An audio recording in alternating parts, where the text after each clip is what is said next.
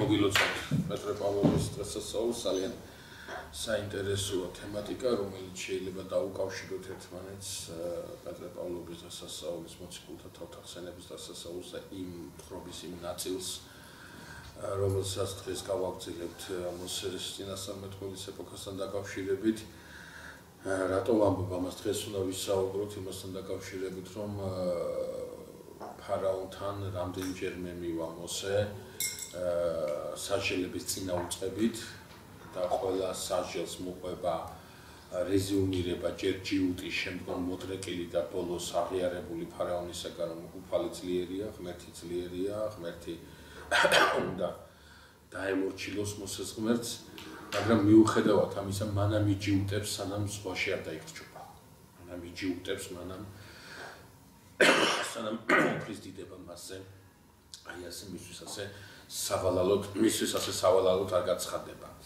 აა ჩვენ როდესაც ამ ტექსტს ვიმართავთ, თავისთავად ცხადია, დავუსვავთ კითხვას ამ სიჯიუტეს, რაღაცა ცოტა არ იყოს არაბუნებრივი ელფერი დასწრებს, არ შეიძლება აა 9ჯერ, 10ჯერ რაღაცა მასაკრა რა ქვია, წარე კაკოთილი მიიღო და მაინც იგივე საკეთებდა. მაინც იგივე საკეთებდა. აა და რა შეიძლება იყოს რა შეიძლება იყოს პრობლემა. აი დღეს სახარებაში წაკითხული იქნა ასეთი ამბავი, როდესაც მაცხოვარი კურნავს ხადარინელ ეშმაკეულს და დაცემული ძალა ღორების კოლტში შედის და ღორების კოლტი გადავარდება მელიქბოდეზე და იქ დაიხშობა რაღაცნაირად ასე ძალიან სიმბოლურია ეს პარალელები ძალიან სიმბოლურად ჩანს ეს ყველაფერი რომ აი ფარაონის ღვაში დახშობა რომელიც ჩვენ ნახავთ დღეს ამას აუცილებლად სიჯიუტის და მერთან ურთიერთობის პროტესტის შედეგია და ღორების ღორების კოლტი რომელიც აი ასე ვთქვათ ეშმაკისაგან აღზრული ასევე გადაიჭეხება აი ამ ასევე ბოროტისაგან არის აღზრული ფარაონი და მთელი მისი ხედრობა, როდესაც ღმერთის სიტყვას ეწინააღმდეგება. ზოგადად, აი ეს ღმერთის სიტყვის მოწინააღმდეგეობა სწორედ დაცემული ძალის გავლენას უკავშირდება. რატო უკავშირდება ახლა მე ამას ერთმანეთს და რისი თქმა შესავალ სიტყვაში რისი თქმა მსურს აუცილებლად. გავიხსენოთ ევანგელიის ახალება ოღონდაც არა იმ ახალებისა, რომელიც წილაზე იქნა წაკითხული, არამედ იმ ახალებისა, რომელიც ასევე ეხება ამ თემას. მე მარკოს მახარებელს შევეხები და ზოგადად თავის დროზე გითხარით, რომ მარკოსის სახარება, ასე ვთქვათ, ცოტა ხმამაღალი ტერმინი თუ არ არის, ვიტყვი რომ არის დედა სახარება, ანუ სახარება, რომელიც რომელიც ძალიან ბევრ საწყის და ძალიან ბევრ საჭირო ინფორმაციას გვაძლევს სხვა სინოპტიკური სახარების სახარებასთან ერთად. აი მარკოზის სახარებაში და სხვა სახარებასაც თუ გადავალოთ თვალს, აა მარტო განკურნება არ არის ამ ყატარენილისა. არის ასევე თხოვნა, ძრწოლვით ავსებული თხოვნა მაცხოვრისადმი, რომ ღორების კოლჩი შეუშვა, შეუსვას უფლება მისცეს მაცხოვარმა, რომ იმა რა ქვია, დაცემული ძალა ღორების მასში შევიდა. ნუ მამები პირდაპირ ამბობენ, რომ ღორებში შესვლაც კი ღმერთის ნებართვის გარეშე არ ხდება. ამას მინდა თქვენ ძალიან დიდი ყურადღება მივაქციო. მაგრამ საინტერესო რა არის ცით? საინტერესო ის არის, რომ შესაძაც მაცხოვარი ეკითხება რა თქვენი სახელი? პასუხი არის ასეთი, რომ მათი სახელი არის ლეგიონი. და ეს ტერმინი ლეგიონი ლათინურია და ბერძნულოვან წერილს ეს ტერმინი არ უნდა გამოიყენებინა.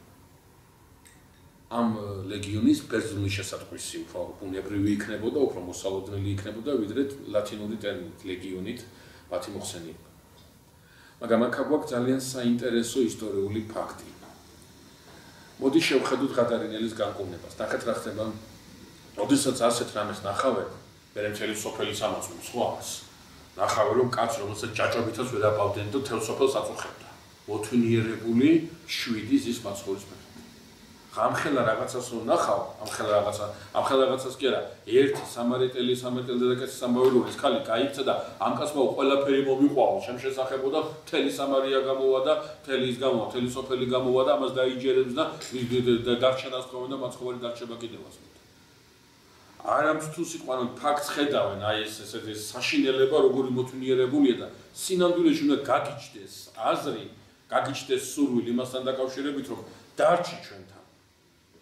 ნუ თუ იმ სოფელში არავინ იყო სნეული ნუ თუ იმ სოფელში არავინ იყო რომელსაც რაღაცა ტყიოდა რაღაცა ტანჯავდა როგორ არა იქნებოდა. არ შეიძლება სულიად ფიზიკური თვალსაზრისით და ჯანსაღი სოფილი ყოფილიყო, მაგრამ ნახეთ მაცხოვარს ასეუბნებიან, წადიეუბნებიან, გამწიოდნენ ლიბერალებმა ძლიერ. აი ძალიან საინტერესოა აი ეს ორი დეტალი, ეს ლეგიონის ლათინურე ლათინურენოვანი ტერმინი და მათი დამოკიდებულება მაცხოვართან წადი. მეგობრებო, საქმე ის გახლავთ რომ ის საჯარისო ფორმირება, რომელიც განსაკუთრებული დავალების ქვეშ იყო და მოქმედებდა პალესტინის ოკუპაციაში, მათი სადროშო გამოსახულება გახდათ გარეული ღორი.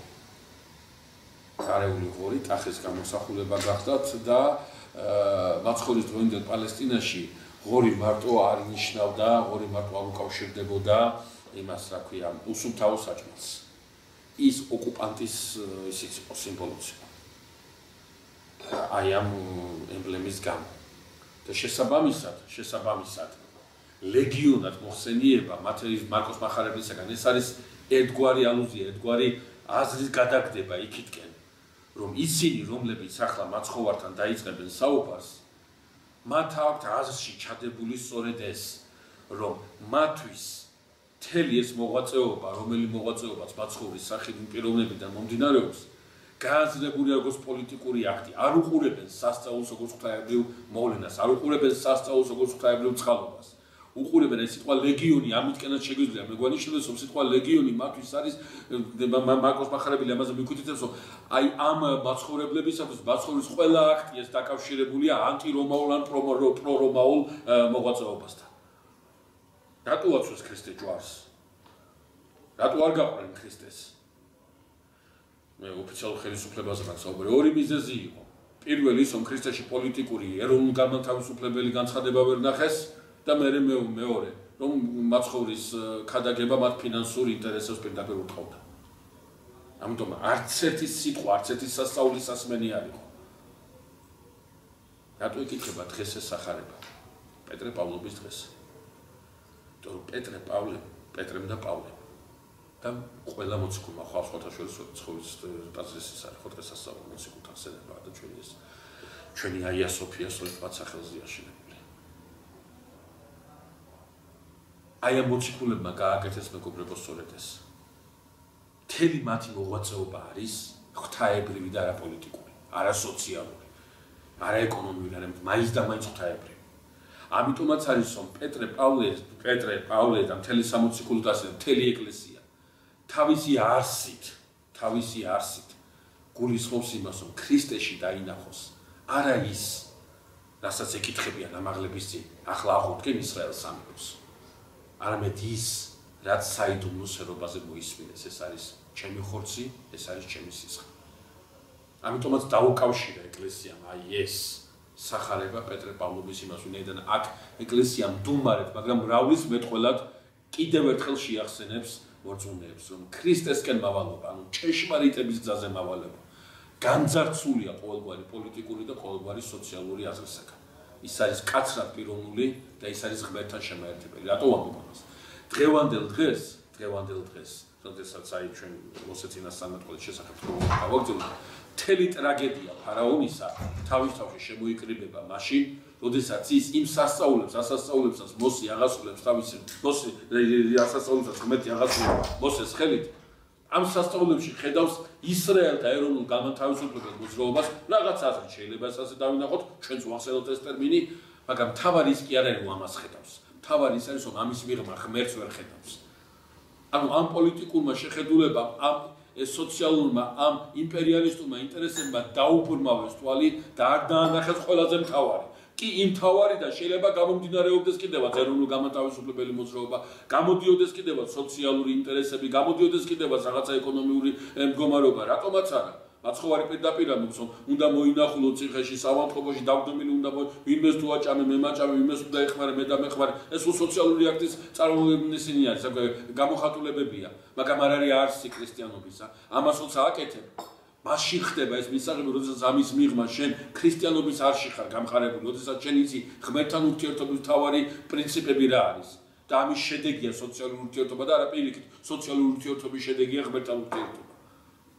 აი სწორედ ეს მოვიდა ფარაონ, როდესაც მოსე მივა ფარაონთან და ეთქვის ღმერთი მოგვიწოდებს, რომ გავიდეთ სამი დღის სავალზე და ვემსახუროთ მას.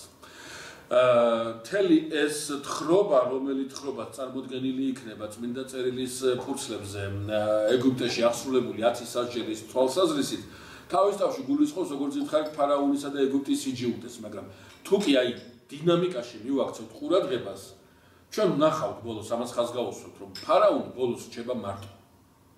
თუ კი თავიდან ფარაონი, ფარაონის სახლი მთელი ეგვიპტე ერთად არის ამ ანტისემიტურ მოძრაობაში ბოლოში ფარაონი არის მარტო, აბსოლუტურად მარტო.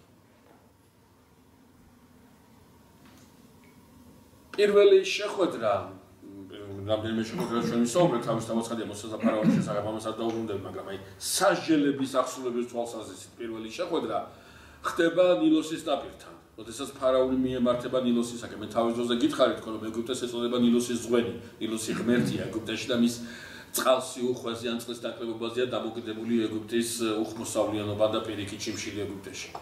და სავარაუდოდ, სავარაუდოდ ფიქრობ რომ ფარაონი გადის ახლა რიტუალური ისათვის, რიტუალური მოქმედების აღსასრულებლად და სწორედ აქ დაგხვდება მოსე და არონი მას და შეახსენებენ რომ ღმერთი მოუწოდებს ისრაელს რომ გაუშვას ფარაონმა და თაყვანისცემს ღმერთს და ფარაონი უარს ეთქვის და მაშინ ღვთის მითითებით მოსეს ღვთის ძანებით მოსეს მითითებით არონი კვერცხს დაკრავს კვერცხს დაკრავს ნემას ნილოსს და ნილოსის წყლები გადაიქცევა სისხლად.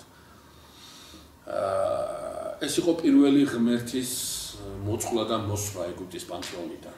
მე გითხარი წინა შეხვედრაზე გახსოვთ ხო? მოსე თავის აქტიურ მოღვაწეობას იწყებს მარცხის შემდგომ მოსე შეუტრიალდება ღმერთს და ეუბნება რატო უბოროტი ამ ხალხს რატო გამომგზავნე მე?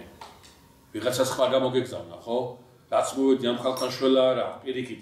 ჩემს ხელში ეს ხალხი სულ უფრო იტანჯება და იტანჯება. მე რატო გამომგზავნე? შენ კი უშველი მაგრამ მე ხო ხედავ ამ ხალხს ვნებ აი ამ დროს იწყება აი მარცხის დროს ამ სული უსუსურების აღიარების დროს იწყება სწორედ აი ეს ამბები რომელსაც ახლა შეუდექი და წინა შეხვედრაზე გითხარით ამიტომაც თამამად შეგვიძლია დაპირისპირება გამიგოთ არა დაპირისპირება როგორც მოსესა და ფარაონ შორის ან ეგვიპტელებსა და ისრაელიანებს შორის. ამით ეს არის დაპირისპირება მოსეს ღმერთსა და ეგვიპტელთა ღმერთებს შორის. ღმერთების ომი იწყება ეგვიპტის მიწაზე. ამიტომაც რატომღაც სასჯელების შუაში მოსე ფარაონს ასეთ სიტყვას მაპატით ღმერთი მოსეს ფარაონისათვის ასეთ სიტყვას ათქმევინებს ქვეყნის შუაში ვარ მე.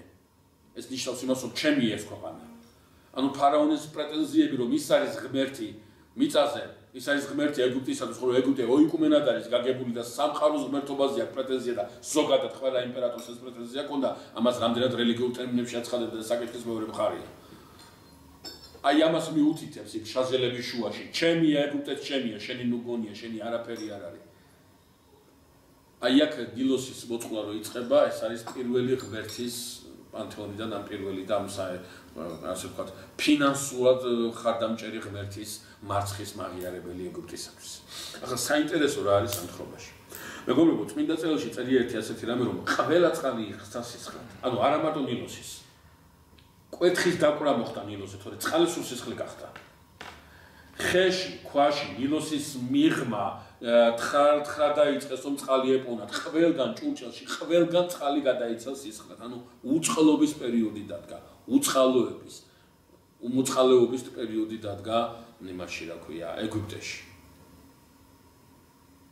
დაყროლდა მთელი ეფრემასური ამბობს, თევზები ისე ეყარნენო ეგვიპტის დინარეში, როგორც თავის ძოზე ისრაელიანთა ხმები, რომლებსაც ეგვიპტე ნილოში ყრიდნენ, ის გამო რომ მამრი შეეძინა, მწული შეეძინა ისრაელი. და ამ თან ახარულებულ დინარეს და იან კუდარ ამოტივტივებულ თევზებს ეგვიპტელებისთვის უნდა შეეხსენებინა ებრაელთა ხმები, რომლებიც ზუსტად ასე ეყარნენ მაშინ დინარე ნილოსის წიაღში. გამთხობა საინტერესო რა არის ცით? წმინდა წერილში წერია რომ ქრუმებად გააკეთეს იგი. აი გრიგოლ ნოსელი სულ ძალიან საინტერესო კითხვას. თუ კი ყველა წყალი სისხლად იქცა, ქრუმება იგივე როგორ გააკეთეს? საიდან მოიტანეს წყალი, რომ მათაც ის სისხლად გადაექცეთ? საიდანაც უნდა ეშოვათ ეს წყალი? მეგობრებო, საქმე ის გახლავთ, რომ ანტიოქიური სკოლა და ალექსანდრიული სკოლა საჟელების, ასე ვთქვათ, დინამიკას ოდნავ განსხვავებული კუთხით უდგება, რაც ჩვენთვის სრულად არ არის განსაკვირი. საქმე ის არის, რომ მეოთხე საჟელის წინ ღმერთი მოსეს ეთქვის რომ ახლა კი გამომირჩევია ეს მხარე ჩემთვის რომ გესემის მხარეზეა საუბარი ანუ მეოთხე სასჯელის წინ ითქვის რომ სასჯელები ბიბლიის მითით ამითითებს რომ შემდეგი სასჯელები ანუ მეოთხე მეხუთე მეექვსე მეშვიდე მერვე მეცხრე და მეათე სასჯელი გესემის ებრაელებს არ შეეხება. ხოლო პირველი სამი სასჯელი შეეხო აი გრიგონოსელი ამბობს რომ 10 ანუ ალექსანდრული სკოლის აი ამ გადასახედად ამბობს რომ ამათი საჟილიდან არც ერთი საჟელი არ შეეხო. გესემის ხარას ვინაიდან ქურუმებს საიდანაც უნდა მოიტანა წყალი იმისათვის რომ სისხლად გადაექციათ ის შესაბამისად ეს საიდანაც უნდა ყოფილიყო გესემის ხარი ბზანებს გრიგონოსელი რადგან გესემის ხარეს ესე იგი ეს აი ეს კრიზისი არ შეხება მართლა სამდეჯერ მეიქნება წმინდა წერილში ახლა არა მაგრამ მოგვიანებით ამდეჯერ მეიქნება ნათქვამი რომ ზღვარს გაავლებს ღმერთი და აქეთ ეყოლება თავისი მხარე და იქით ეგვიპტე ის საჟელი ამათ არ შეეხება და ეგვიპტე შეეხება. შესაბამისად ჩვენ ეს ორი მიდგომა საეკლესიო ტრადიციაში რაღაცაა შეგვიძლია გავერთიო და შეგვიძლია ვთქვათ ასეთი რაღაცა. რომ როდესაც მოსემ კვერთხი დაკრა ბაბათეთ არ უნდა კვერთხი დაკრა ნილოს და ნილოსის წყლები და საერთოდ ყველა წყალი სისხლად გადაიქცა. ეს სისხლი გვაქვს გესების ხარშიც. შემდგომ გვაქვს ხო ბუზანკალია, შემდგომ გვაქვს აი ეს რაღაცა, ანუ პირველი სამი საჟელი, პირველი სამი საჟელი ეხება გესების ხარს, მაგრამ არ ეხება იმ სირთულით, არ ეხება იმ სიმძიმით, როგორც თელ დანარჩენ ეგვიპტეს ვინაიდან 7 დღის განმავლობაშია ეს მდინარე ნილოსი სისხლის წყლის მაგინა დილოში სისხლი და 7 დღე ვერ გაძლევს ვერანაირი ადამიანი და ვერანაირი საზოგადოება წყლის გარეშე. ეს გამორიცხული აბსოლუტურად. ამიტომაც გრიგონოსელი ამას ვარაუდობს. რომ არც ერთი არ შეხებია, ეფემასური დატოქრის ხოლ ამბობს, რომ პირველი სამი შეეხო და შემდეგი არ შეხებია, ჩვენ კი რაღაცა შეგვიძლია რაღაცა შევაჯეროთ რეზიუმირებულად, გადმოცეთ ეს ორი შეხედულება და ვთქვათ, რომ შეეხო პირველი სამი საჭილის, მაგრამ არა იმ დოზით, ანუ შეიძლება ერთი დღით ან ნახევარი დღით, რატომ? იმიტომ რომ ერთია, როდესაც გესმის საჭილის შესახებ და მის სიმძიმეზე საუბრობ და მეორეა, როდესაც კი არ გესმის შენ თვითონ შეგეხო სიმძიმე და შემდგომ მოგცილდა და ხედავ რამხელა წყალობა გაგიკეთა თქვენ რომ აი ეს სიმძიმე რომელიც შენ ემპირიულად გაგვე განცდილი აღარ გეხება. ამიტომ სავარაუდოდ პედაგოგიური რამ ნიშნით შესაძლებელია მართლა პირველი სამი დღის განმავლობაში რაღაცა დოზით შეეხო რაღაცა დოზით შეეხო ეს საჟელი გესემის ხარისხს ახლა ჩვენ გახსოვთ გახსოვთ ვისაუბრეთ წინა შეხვედრაზე იმასთან დაკავშირებით რა არის სასწაული და ასევე შემოვიტანეთ მეორე ტერმინი რომელიც ბასილი დიც იონე ოქროპირს შემოაქვს ნიში ანუ ნიში და სასწაული. თქვით რომ სასწაული ეს არის ასთა კანონების ანუ ბუნების კანონების ცვლა ანუ აბსოლუტური ასე ვთქვათ დარღვევა და ამ რეალობის შეხედვა ეს არის სასწაული. ხოლო ნიში როდესაც ბუნების კანონები არ ირღვევა მაგრამ აშკარად ეს ბუნებრივი მოვლენა მიუთითებს საფრთხო რისხვაზე და საფრთხო წყალობაზე. შესაბამისად, აი გრიგონოსელი ამ ადგილსაც აქცევს ყურადღებას და ასეთ რამეს ბზანებს, ოდესაც ქურუმებმა, ქურუმებზე არის ნათქვამი, რომ მათაც იგივე გააკეთეს. რა გააკეთეს მათ? იგივე გააკეთეს, რაც კვერთხთან დაკავშირებით იყოს. შექმნეს ილუზია, ან მათ წყალი სისხლად კი არ აქციეს, მათ რა გააკეთეს? წყალი გააწითლეს, ან ის წყალი დარჩა. იმ დროს, როდესაც მოსეს მიერ ან არონის მოქცევილი კვერთხის შედეგად, წყალი კი არ გაწიწდა, არა, წყალი იქცა სისხლად. ანუ სისხლი გვაქვს იქ, ეს ნიჩება. მამის სახელი არ მახსოვს, ერთ-ერთი мама ბძანებს იონე ოქროპილია თუ აქვს ხელი. ყურადღებას მიგვაქცევინებს ქრუმების უგუნურებაზე. თუ კი მათ სურდა დაემკიცებინათ, რომ მათი ღმერთი რამეს წარმოადგენს, ან და თუნდაც თვითონ რამდენადმე მაინც ძლიერი არიან მოსესე. იგივე კი არ უნდა გააკეთებინათ, ანუ პირიქით სისხლი ყველა წყლად უნდა მოებრუნებინათ. მაგრამ არა ამას არ აკეთებენ, ანუ ეს ილუზია, ანუ ეს ილუზია რაც გულისხმობს, ეს ყველა ილუზია არის ორიენტირებული რაზე? ფსიქოლოგიურზე მოქმედებაზე. არის ორიენტირებული იმაზე, რომ მასების ყურადღება მიიპყროს. მასა, რომელიც არ აღარ აკეთებს ანალიზს.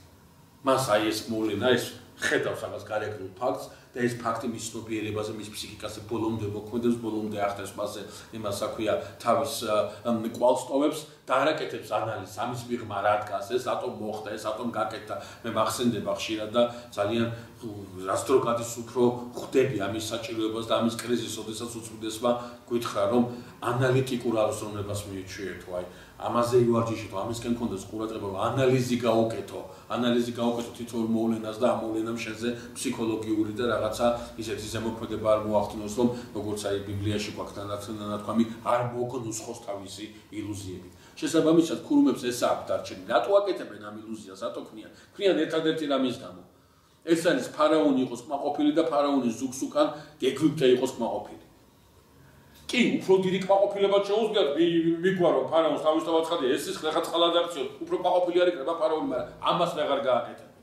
ამიტომ მაქსიმუმს ანუ მათი მიზანი ის კი არ არის, რომ აი ამ განსასწრელისაგან იხსან ეგვიპტე, ის ამ განსასწრელისაგან იხსან ეგვიპტე. მათი მიზანი რა არის? ფარაონს თავისთავად ფარაონთან რამენაირად აი ეს აი ეს რაღაცა ინტერესები ფარაონთან არ იქნას შელახული. მათი ნამდვილი მიზეზი სამშობლო რო იყოს, მათი ნამდვილი მიზეზი საგამწიფო რო იყოს. ადრევე იტყვიან იმას, ასაც ბოლოსკენ ეუბნებიან ფარაონს, ვერ ხედავო დაღუპეო მთელი ქვეყანა. ამას უდესი თქვენ ისეთ რომ ეგუნტე ბოლომდე გაჩანადებული. მაი არაფერი აღარ არის ეგუნტი არის და დაომარე მთელი ეგვიპტე ერთი დიდი ბრძოლისველია, სადაც გვამები ყლია, აოხრებულია და ნასიწყალე დაიარებია მთელი ქვეყანა. აი მერე ბოლოში ეთქვა ვერ ახლა გაუშვიოს ხალხი ვერ ახლა დაო ყუბა უკაბანას ან ჯერ არა ჯერ ფარაონის წინ ამ კეკლოცობის დრო არის და ამიტომაც აი ილუზიებს ხრიან რომელიც მასებში დაელეკება როგორც ფარაონის ლევამოსილების ითია თავისთავად ხადი არ მოხდება ისრაელიანთა კავშირება მეორე სანჟელი გახლავთ გომბეშოების შემოსევა. აა საშინელება იყო ეს ესე იგი მოსეუბნება რომ შეგახტებიან ეს გომბოშები ყველგან გაჩდებიან და ნუ რაღაცა საზერალ საზარელზე საზა ზოგადად მეგობრებო რა მინდა გითხრათ ცით ახლა მე ახლა ეგუტურ პანთეონს ბოლომდე ვერ დაული არც ვეცხედავ ამ საჭიროებს, მაგრამ ზოგადად ფიქრობენ რომ მამათის სასჯელიდან თითო სასჯელი თითო ღმერთი ხდება, ანუ თითო ღმერთის იდეა ფერქვეში ქეითელება ეგვიპტური პანთეონისა და ბოლო ღმერთი, რომელსაც მიადგება ესე ასე თქვა ღმერთი, რომელთა რომელიც აი ამ სასჯელთა რიგში იქნება, ეს იქნება ღმერთი მიწაზე, ანუ ფარაონი. შესაბამისად აი კომპეშოსის ხედავენ რაღაცა პანთეონიდან რაღაცა პანთეონთან რაღაცა კავშირს. Ну ეს მეორე საჟილი ძალიან ესე მძიმედ გადაივლის მოსეს ესე იგი ქურუმებით ქურუმებზე სათქმე რომ იგივე მოახდინეს თავის თავად ხადია ამ შემთხვევაში ილუზიაზე გვაქვს საუბარი და აი ეს მეორე საჟილი ხდება უკვე შემაწუხებელი ფარაონისათვის და ფარაონი ამბობს რომ მოონდეს საჟილი მორჩეს და თანახმაა რომ ისრაელი წავიდეს და ემსახუროს ღმერთს ნუ ეს თავისთავად ხალხი არ მოხდება და მესამე საჟელი არის მუმლი მიწაზე დაკრავს ყვეთხს აარონი და მიწიდან ამოვა მუმლი და ეს თელ მიწაზე და ყველა მცენარეზე ეს მუმლი მოედება. ესე ძალიან შემაწუხებელი იქნება. და აი ამ მესამე საჟელზე არის ნათქვამი რომ ეს უკვე ქურუმება ვეღარ გააკეთეს. ვეღარ გააკეთეს ანიშნავს მეგობრებო იმაზე ილუზია ვეღარ შექმნეს იქ სადაც წყლის გაწეთლების ილუზია შექმნეს გომბეშოების გამოყვანის ილუზია შექმნეს თავისთავად ხადია მულის ილუზიასაც შექმნდნენ მით უმეტეს უფრო წვრილია და უფრო მასიურია და აქ მანიპულირება უფრო შესაძლებელია. ქრუბმება ეს ვეღარ შეძლეს ნიშნავს რომ ამოიცალა აი ეს დემაგოგიური ის მანქანა ვეღარ მუშაობს. რომ ახლა ჩვენ ამას კი წაწყობილად ვლაპარაკობთ რომ ერთი საჟელი, მეორე საჟელი, მესამე ეს ანიშნავს იმას, რომ კიშვილი დღე კი მიდიოდა ეს პირველი საჟელი, მაგრამ პირველი საჟელი რომ მოხდა, მეორე დღეს რომ მეორე საჟელი დაიწყოს, ამას ანიშნავს. შესაძლებელია ამ საჟელებს შორის საკმაოდ ისეთი დრო არის, დაგდებული რომელთა შორისაც ფარაონს გული კლავდნენ და უყვავდება, უყვავდება და კლავ უარსებდება წასვლას. ამიტომ გარკვეული პერიოდის განმავლობაში აი ეს დემაგოგიამ თავისი თავი ამოწურა. ანუ ქურუმები ვეღარ ყიდია და საქონელს ამ თავიანთ სრულიად უარგის საქონელს საზოგადოებაში და საზოგადოება მას უკვე აღარ უსმენს, იმიტომ რომ ფაქტის სახეზია. მესამე საჟელი დაატყდა თავს ეგვიპტეს და ქურუმების ილუზია, რომ ცხო იყოს ის რაღაც ყურადღება მისაქცევი, რა არა აქვს თავარი ქურუმთა ილუზიის. რა არის ის თავარი, ის გამოც ქურუმება ეს ვეღარ გააკეთეს. არ აქვს შედეგი, ნაყოფი. ეგვიპტე აქცელებს კრიზისს. უნაყოფოა. აი, როდესაც ამ ნაყოფზე საუბრობ, ჩვენ გვახსენდება მაცხოვრის მე ამოჩემებული ადგილია ჩემი სახარებიდან და თუ თავი არ შეგაბეზეთ კიდევ ერთხელ შეგახსენებთ. მაცხოვრის დამოკიდებულება უნაყოფოლებების ხესთან. რომელსაც გაახმებს. იმიტომ კი არა ეს ლეღვისხე ჭtildeს არის ლეო და ფურსლები არ ქონდა ეს ლეღვისხე რაღაცას იკეთეს აკეთებდა მის ჭtildeქოში სვენებდა ყოველ შემთხვევაში ნათანაელი არა ლეობა ჩრდილი კი არ უნდა მოხდეს და ფურცელი კი არ უნდა გამოიღოს, არა ناყოფი უნდა გამოიღოს. და უნაყოფო თუ არის, მაშინ ილუზორულია, მაშინ ფანტაზიებს უკავშირდება მისი ჩრდილის მოცემა და მისი არსებობა, რატო? შინაარს არ პასუხობს და იმიტომ უნაყოფოა და იმიტომ უნდა გახდეს მაშინ. სწორედ იგივე სამბოს იოანე ნათლისმცემელი, როდესაც უნაყოფო ხეს საუბრობს, რა არის ეს უნაყოფო ხე მოიკეთება და წესში დაიდება, რატო? რაც ნიშნავს უნაყოფო ხე? ის რომელსაც რა არ აქვს. ხავთ ხისი ხავთ სინამდვილე ხისი და ანუ ნაყოფიერი სხვა ბუდიში ციტატა სინამდვილე რომელსაც დაყოფი არ მოაქვს. წმენა რომელსაც დაყოფი არ მოაქვს. ანუ შენში არაფერი არ იცვლება. და ჩვენი საეკლესიო საზოგადოების ყველაზე დიდი პრობლემა, ჩვენი ქრისტიანული საზოგადოების ყველაზე დიდი პრობლემა ეს არის. რომ ჩვენ როდესაც ეკლესიები ტაძრები ავავსეთ, ესტაზები არ აგვისია, იმიტომ რომ ნაყოფიერი გავხდარიყავთ ესტაზები ამავსეთ, იმიტომ რომ ტრადიცია იყო ჩვენი, ასეთი და ხა ტაძარში ხონდა გოლი, რომ დიდი მამა ყავა ტაძარში დადიოდა. უნაყოფოები დავუჩით. ნაყოფიერი გამოვიხეთ. ვერც ერმა, ვერც ბერმა. შესაბამისად, ყურადღება ექცევა სწორედ ამას, რომ უნაყოფობა წმინდა წერილში, ეს არის ისაც ილუზიებს უკავშირდება. ერთ-ერთი მამა ქადაგებდა, ამინდა ხა დავასახელე, მაგრამ ძალიან დამჩა მისი ქადაგება. რომ საუკუნეებით განასვეტები მაგრამ ნაყოფი არ გამოხდა რომ შეიძლება იყოს ეს ცენი რომელიც საუკუნეებს არ გაუძლებს მაგრამ მისი ნაყოფიერება მის არსებობას ასაცლებს აშინაარსებს შესაბამისად ქურუმება ეს ვეღარ შეძლეს ნიშნავს იმას, რომ ამოიწურა მათი დემაგოგიური მანქანა. ამოიწურა. აა შემდეგი საჟელი, რომელიც დაატყდება ეგვიპტეს, ეს არის ბუზანკალები, ბუზანკალები იმ შეესვა ეგვიპტეს და ესე იგი ფარაონი დაიბარებს აა და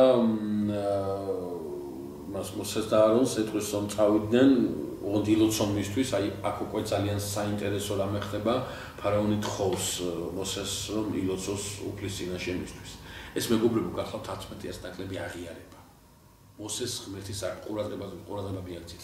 მოსეს ღმერთის არსებობის აღიარება კი არა. ფარაონისათვის მოსეს ღმერთი არსებობს მაშინად, როდესაც მას აქვია შომას უმძუნებს ისრაელიანებს. წარმართია მისთვის ყველა ღმერთი არსებობს, აპრობლემაა ღმერთის არსებობაში. მაგრამ როდესაც ეუბნება ილოცეთ, აქ უბრალოდ მოსეს ღმერთს კი აღიარებს. მოსეს ღმერთის ძლიერების აღიარება იწყება. ეს არის ძალიან მნიშვნელოვანი მომენტი. რატომ მიმართოს თავის ხურულებს, მიმართოს თავის პანთეონს. ვეღარ შეძლეს ამოწურული ეს რესურსი. ახლა მოსეს ღმერთის ჟენი, მათ უნდა მიმართო. და ეგ ძალიან საინტერესო დეტალია მეგობრებო. მე მინდა განსაკუთრებული ყურადღება მივაქციო თქვენი ამაზე, შემეძლო სხვა ადგილასაც მეთქვა, მაგრამ აქ მინდა და ამ კონტექსტში მინდა თქვა. ძალიან საინტერესო რა ხდება. ქრისტიანობის ისტორიაში გვაქვს საინტერესო ფაქტი. როდესაც აა რომაული პანთეონის წიაღში ქრისტეს, ა ブラ ამის, მოსეს გამოსახულება აღნიშნული. რომი აღიარებს ქრისტეს ღმერთად. ეს უნიკალური მოვლენა ქრისტიანობის ისტორიაში, უბრალოდ ეკლესიისა და წარმართული იმპერიის ის ურთიერთობის ისტორიაში, როდესაც იმპერიამ აღიარა ქრისტე ღმერთად და რაღაც ახალი უნდა დაიწყოს აქედან. რაღაც განსაკუთრებული უნდა დაიწყოს. ეს არ უნდა ქრისტიანებს. კარკული პერიოდი გასულია, ესე იგი ორი პირობა იყო საჭირო იმისათვის, რომ რელიგია ნებადართული და კანონიერი ყოფილიყო რომში, უნდა ყოფილიყო ძველი და უნდა ყოფილიყო ნაციონალური. ქრისტიანობა არც ერთი იყო და არც მეორე. ამ პერიოდისათვის ქრისტიანობას უკვე აქვს საუკუნე მithulili, საუკუნე ნახევარი mithulili, ანუ მის სიძველეზე შეუძლია უკვე კანონსაუბარი და რაც შეეხება ნაციონალურობას, კუთვნილებას შესაძლებელია რომა თავისი აკვე იმპერატორი იმპერიული გადაწყვეტილებით კანონი იმპერატორმა თვითონ თავის თავზე ნაციონალურის მოუხსნეს. მეტი დაუნდა ქრისტიანობას. ნებადართული გახდება ისაც კონსტანტინემისა თავის დროს ღმერთად აღიარებს რომი ქრისტეს, აი რა უნდა მეტი ეკლესია ის რაც უნდა დღეს ზუსტად იგივე უნდა მაშინაც. რაც დღევანდელი წარმართულ სამყაროსადმი აქვს განაცხადი ეკლესია ზუსტად იგივე გააკეთა მაშინაც ეკლესია. არ იცვლება ეს განაცხადი რა. ქრისტე ერთ-ერთი ღმერთი იყოს ქრისტე ერთ-ერთი ღმერთი იყოს აი აქ იწყება კონფლიქტი წარმართობასა და ქრისტიანობის შორის ყურადღება მიაქციეთ რომა ეკლესია შესთავაზა ქრისტიანობით გამდიდრებული წარმართობა. იმ დროს, როდესაც ქრისტიანობა რომს თავაზობდა ერთადერთ მხოლოდ ქრისტიანობას.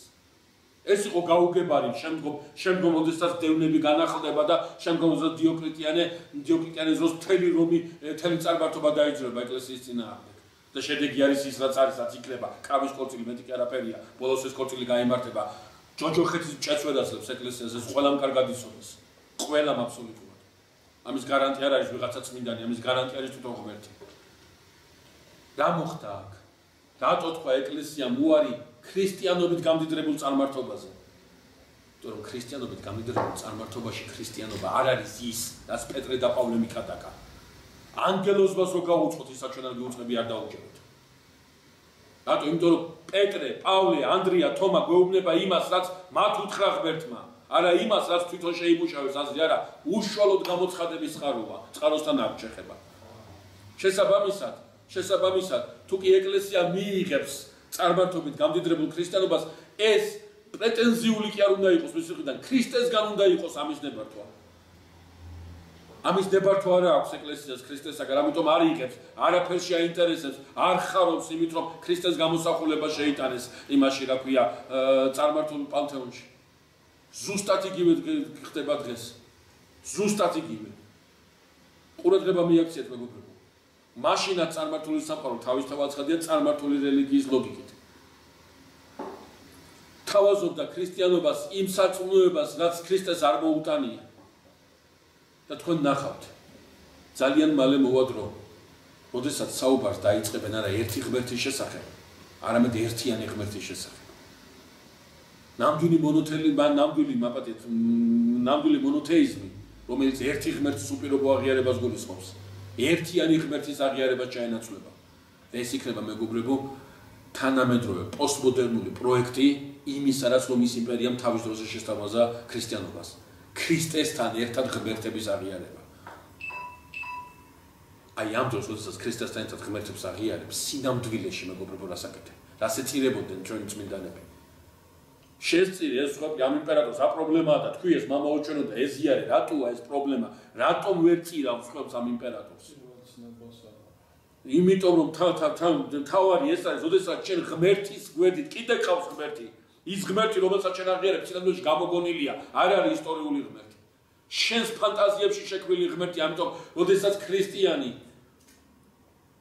ქრისტეს გვერდით გამოგონილ ქრისტეს აღიარებს შეთხზულ ქრისტეს აღიარებს. მოციქულთაგან დაკადაგებს კი არა, ადამიანური ბრძობის შედეგად შეთხზულ ქრისტეს აღიარებს. ის ამ დროს დგება სწორედ იმ წარმართული პანთეონის თაყვანისმცემელი ოღონდ ქრისტიანობის სახელით. აი აქ ფარაონი აკეთებს სწორედ ამას. აი ფარაონის დამოკიდებულება არის სწორედ ესე, ასეთი.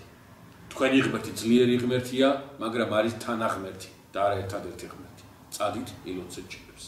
ეს ძალიან საინტერესო კონტექსტია წმინდა წერილიდან. თავისთავად ცხადი ეს ასეც მოხდება. შემდგომ არის საქონლის მოსვლა, შემდგომ მაინც არ გაუშვებს ფარაონი და შემდგომ არის უნდა მივიდნენ მოსე და არონი უნდა მივიდეს ფარაონის წინაშე წარდგეს და აროს ხელში უჭირავს ნაცარი. ნაცარი უჭირავს ქურიდან გამოღებული ნაცარი უჭირავს ხელში და კვლავ მოთხოვნა გაშვებისა კვლავ უარია და არომა ეს ნაცარი უნდა ის აყაროს ასე ფარაონის წინაშე. ეს ნაცარი მუწუკებად მოედება მთელი მას აქვე ეგვიპტეს. ეს ცით? ეს იყო ტიფონის მსახურების ასე ვთქვათ შარჟი არაუნის ааრონის ხრიდან.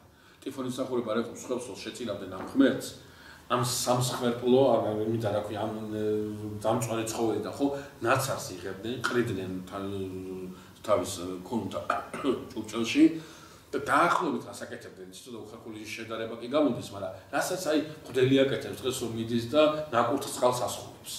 აი ამ იმას ტოერს ამ ნაცას ყიდნენ და ეს იყო ამ ღმერთისაგან ესე იგი წამოსული განწმენდა. აი სწორედ აი ამ იმას, აი ამ ნაცას აიღებენ, აი ამის ამის ასე ვთქვათ რელიგიური მასაკია პაროდიას აკეთებს აარონი და იმას აკეთებს მოაფეს და ეს ყველაფერი საჟელებად ეს ყველაფერი საჟელებად ექცევა ექცევა იმას რა ქვია ეგვიპტეს ამის შემდგომ არის ძალიან საინტერესო დეტალი მოხდება ისე რომ მოხდება ისე რომ ფარაონთან მივა მოსე და არონი და ერთ ასეთ რამეს ეუბნებიან რომ გაუშვას თორე ძალიან დიდ საჟელს მოუწევს ეგვიპტეს იგულისხმება ცეცხლოვანი სიტყვა, თუ ცეცხლოვანი სიტყვის შესახებ ჩვენ უკვე ვისაუბრეთ და ვთქვით რომ ესეც სასწაულია მინაიდან არ შეიძლება წყალში იყოს ცეცხლი, წყლის თვისებები არის სიმძიმე, სიცივე, სინოტივე, ცეცხლის თვისებები არის სიმშრალე, სიმხურვალე, სიმსუბუქე არ შეიძლება ერთად იყოს მძიმე და მსუბუქი. ერთ მთლიანობას წარმოადგენს ეს. არ შეიძლება ერთ მთლიანობას წარმოადგენდეს სველი და მშრალი. მაგრამ ეს არ შეიძლება ჩვენთან ქმნილებათა ძალიან იმაში რა ქვია შესაძლებლობებში, მაგრამ საფრთხო შესაძლებლობებში შეიძლება. რატო თვითონ არის დამაარსებელი, დამამკვიდრებელი იმ კანონებისა, რა კანონებითაც სიმშრალე მოქმედებს, სისწრაფე მოქმედებს, სიშორე მოქმედებს, სიმძიმე მოქმედებს და ასე შემდგომ და ასე შემდგომ როგორც ამას გრიგოლოსელი და შემდგომ მაქსიმი აღსარებელიც მიაქცევს ყურადღებას. მაგრამ საინტერესო და არის იცით საინტერესო ის არის რომ აი ამ საჟელის წინ, როდესაც მოსი ამბობს აი ამ საჟელს, მოსი ამბობს ამ საჟელს. წმინდა წერილში წერია, რომ ეგვიპტელთა ნაწილმა მოუსმინა მოსეს და საქონელი და თავისი ყმები არ გაუშვა გარეთ. ნაწილმა არ მოусმინა, ვინც არ მოусმინა მისი ყმები და მისი საქონელი დაიღუპა, მაგრამ ნაწილმა მოусმინა. ეს აშკარად ფარაონის დაპირისპირება. ის, ვინც უშვებს საქონელს მაინც უელზე და არ ჯერა რომ მოსეს ღბერთია მას გააკეთებს. ორი ის აქვს, რა ქვია, мотиваცია. ერთი ის რომ ურწმუნოა და მეორე ის რომ ეს უწმუნოება ფარაონის დამოკიდებულებას, ფარაონის დამოკიდებულების თანხმედრია ისრაელისთან. როგორი უწმუნოება ყოველთვის არის ნებელობითი აქტი. ეს არ არის ინტელექტუალური აქტი, არც მენა ინტელექტუალური აქტი და არც უწმუნოება ინტელექტუალური ვენებელობითი. ეს ძალიან გთხოვთ ამას კარგად მიაქციოთ ყურადღება. ის ვინც ამბობს რომ ათეისტია, იმიტომ კი არ არის ათეისტი, რომ ლოგიკურად ხედავ. არა, ჯიუტი როა იმიტომ არის ათეისტი. ასე უნდა და იმიტომ არის ათეისტი. თუ სულთა მეცნიერულად რომ მიუდგეს, სულთა მეცნიერულად პატიოსთან. აღმოჩნდება რომ ის ათეიზმში არაფერია მეცნიერება. აბსოლუტურად არა. ნული. ვერაფერს უნდა ხოს მეცნიეროს ათეისტში ვერაფერს უნდა ხოს მაგრამ ჯიუტად არის ის ათეისტება იცით უნდა და იმიტომ. აი სიჯიუტე მეგობრებო სწორედ ჩანს აი ამ იმის საქმე ფარაონის და ეგვიპტელთა ამოქმედებში ჩვენთვის საინტერესო რა არის?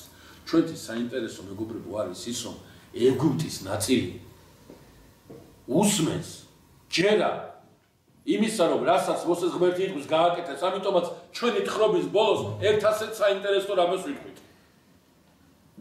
რომ მარტო ისრაელი კი არ გადის ეგვიპტიდან. ჭრელი ხალხიც მიყვება. სხვა, სხვა ეროვნებაც მიყვება, სხვა, რომელიც არ არის ა ブラ ამის ჩალმოვალი, ჭრელი ხალხი გადის. ჭრელი ხალხი მიყვება. ეს ჭრელი ხალხი რატო გაყვეს? იმიტომ კი არა ისრაელი გავიდა ეგვიპტიდან, არა. ეს ჭრელი ხალხი იმიტომ გაყვა ისრაელს, რომ სანამ ეგვიპტიდან გავიდოდა, ისრაელთან მივიდა და იმიტომ გესემის ხალის კუდრი ხდება. ძველი აღთმის ეკლესიის კარებთან, კარიბჭესთან მიდის და მის კედლებთან დგება. რომ გავა ეს ეკლესია თან გაყვება.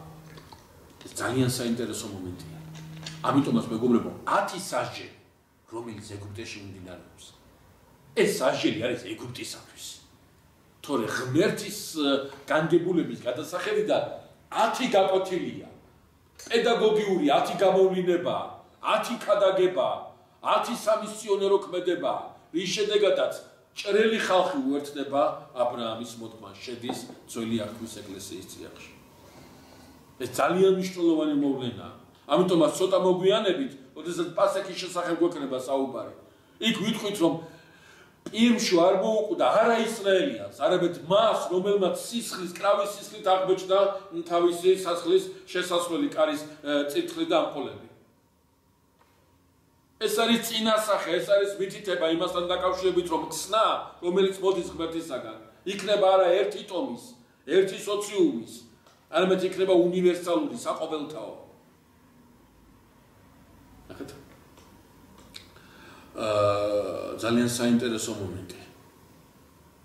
რომ აა ცეცხლოვანის სიტყვის მოსვლა, ცეცხლოვანის სიტყვის მოსვლა მოხდება ეგვიპტეში, ესე იგი როგორი პროცესი ეს ეგვიპტე ნელ-ნელა ნადგურდება და ამ ცეცხლოვანს სიტყვას სულ გაანადგურა ყველაფერი.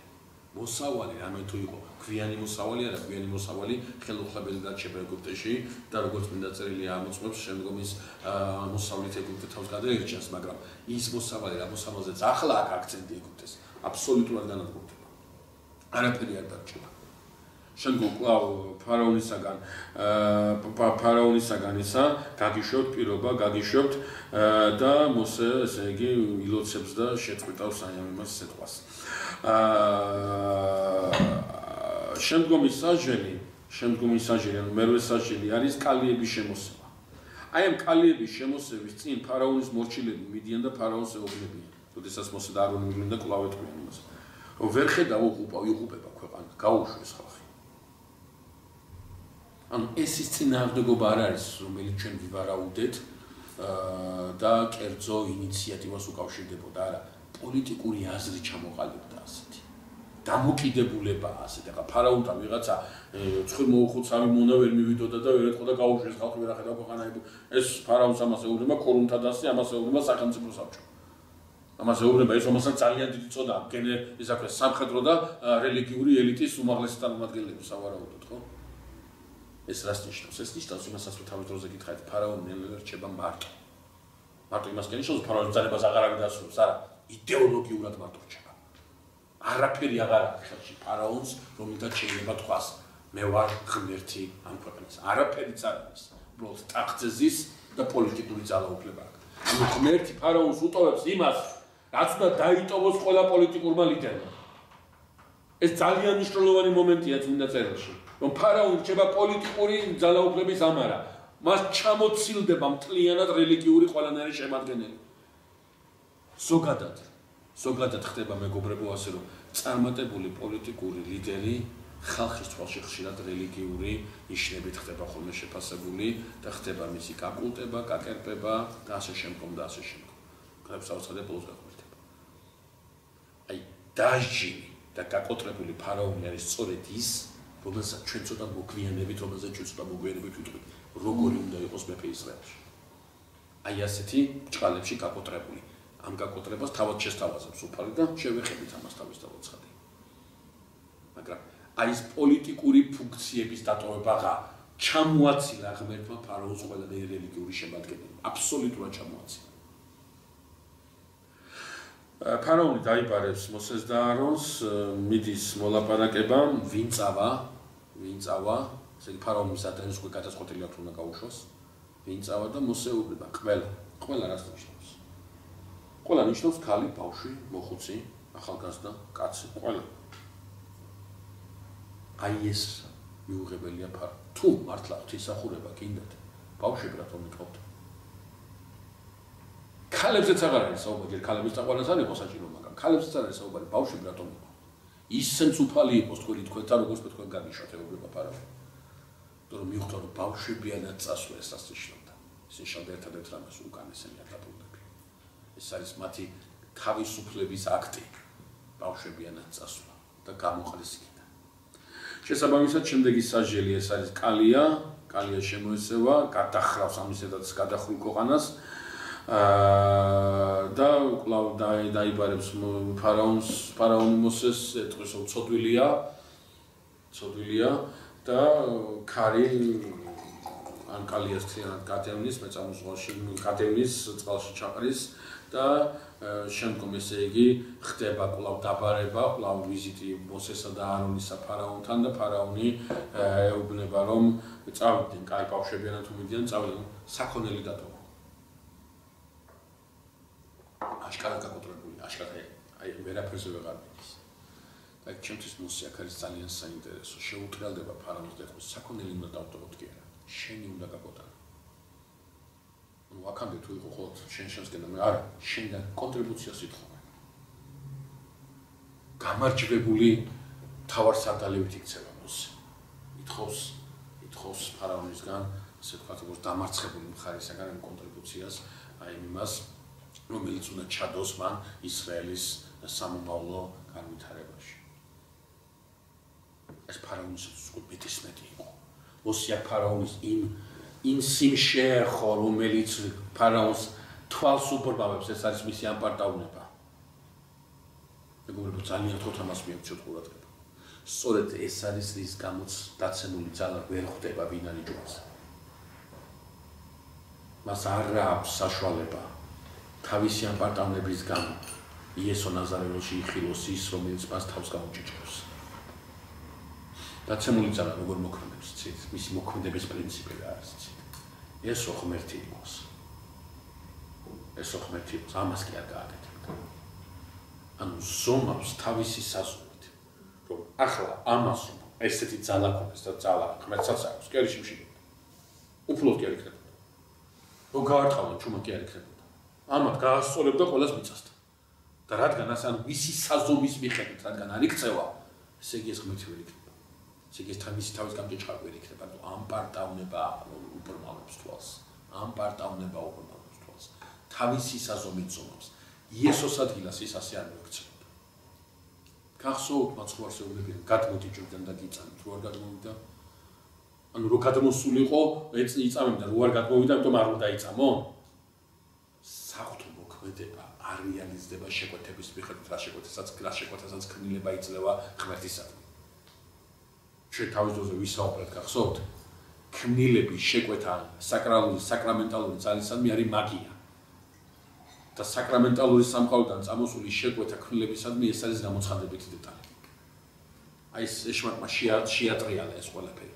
ფარაონში ის სწორედ ეს აი ეს ამპარტაუნება არის რომელიც მას თვალს უბრალოს გონების თვალს უბრალოს თუ გადავხედავთ ღვთის ბერძოლებს ეკლესიის წინააღმდეგ ბერძოლებს ყველა საფუძველში აქვს სწორედ ეს გონებრივი ეს მენტალური სიგმამე რომელიც დამყარებული ერთადერთ ამიზე მე ვარ მართალი.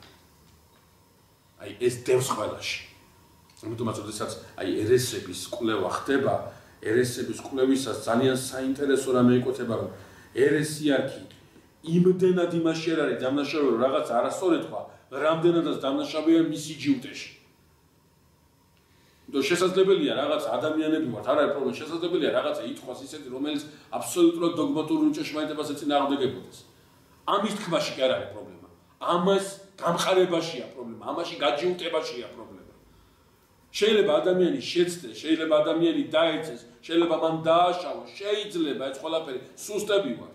დაცემაში არ არის პრობლემა, დანაშაულში არ არის პრობლემა. დაცემაში გამყარებაშია პრობლემა. დანაშაულის გაჯიუტებაშია პრობლემა. რატო? იმიტომ რომ ყველაფერი მოდის ამ პარტნიორებიდან. ამიტომაც არის სინანული ამის საშუალებას არ აძლევს ადამიანს. ის საშუალებას არ აძლევს გამყარდეს დანაშაულში. და თანამედროვე სამყაროში იკარგება სწორედ ყველაზე მნიშვნელოვანი რამე. თანამედროვე სამყარო რომელიც მულტი ჭეშმარიტებაზე აგებული და ყველა მართალია თავისთვის ამას ხადაგებს. უკვე აზრი ეკარგება სინანოს. თუ ყველაფერში მართალი ვარ, რა უნდა ვინანო მაშინ? სიჯიუტის, წარმართული სიჯიუტის ეპოქა, წარმართული სიჯიუტის აი ეს ხანა მოდის ნელ-ნელა, სადაც ყავდა, სადაც თავარი რა მომენტი არ იქნება, სინანულის მომენტი, რამაც მე უნდა მაგწდობინოს, შეიძლება დავაშავო, შეიძლება შევწდო. აი ეს არა ფარაონის, ფარაონის ეს სიმი შეირხა ახლა სწორედ. რა სიმი? რომ მამანაც უნდა გაატანოს თორმე საქონელი. მომწდი თავიდან. მეორეჯერ აღარ მიხილო, თორემ სიკვდილით მოკვდები იწოდე ეუბნება განისხებული ფარაონი მოსეს. მოსეს შეუტრიალდება ეთქვის ეს მართალი თქვი. ეს მართალი თქვი. აწი ჩვენც მას აღარ მიხილოთ. ფარაონისა და მოსეს შეხვედრა კიდე მოხდება.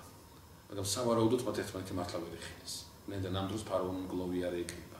სულ შეცევით და გლოვიარე ეგვიპტელი სადაც პასახესი ფარავდა და სულკიდან ელაპარაკებოდა იმას რა ქვია სხვას და შესაძლებელია შვინ კუტარი პლიმშო კუტარი ფარაონი ბოლოს მოსესწორეთ პეჩამოფარებული სულკიდან ელაპარაკება. შემდეგი საჟელი არის აი ეს სიბნელე რომელიც ჩამოწება თვალ ეგვიპტეში სიბნელე რომელიც ჩამოწება წვიადი სამი დღის განმავლობაში.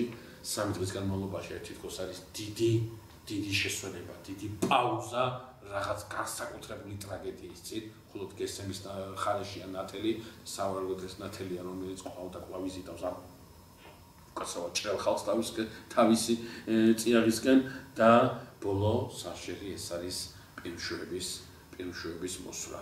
მე ახლა სულადად პილშოების ამ პასექის შესახებ არ ვიცხებ საუბარს, აქ ჩერდები მეათე საშელზე საუბარი ვილაპარაკოთ და ამას უნდა მოვაყოლოთ ეგვიპტიდან ისრაელის გასვლა და მეწამული ზღვის გადაკვეთა და სინას თასთან მისვლა დღეს ამით უნდა დავასრულოთ. დიდი მადლობა.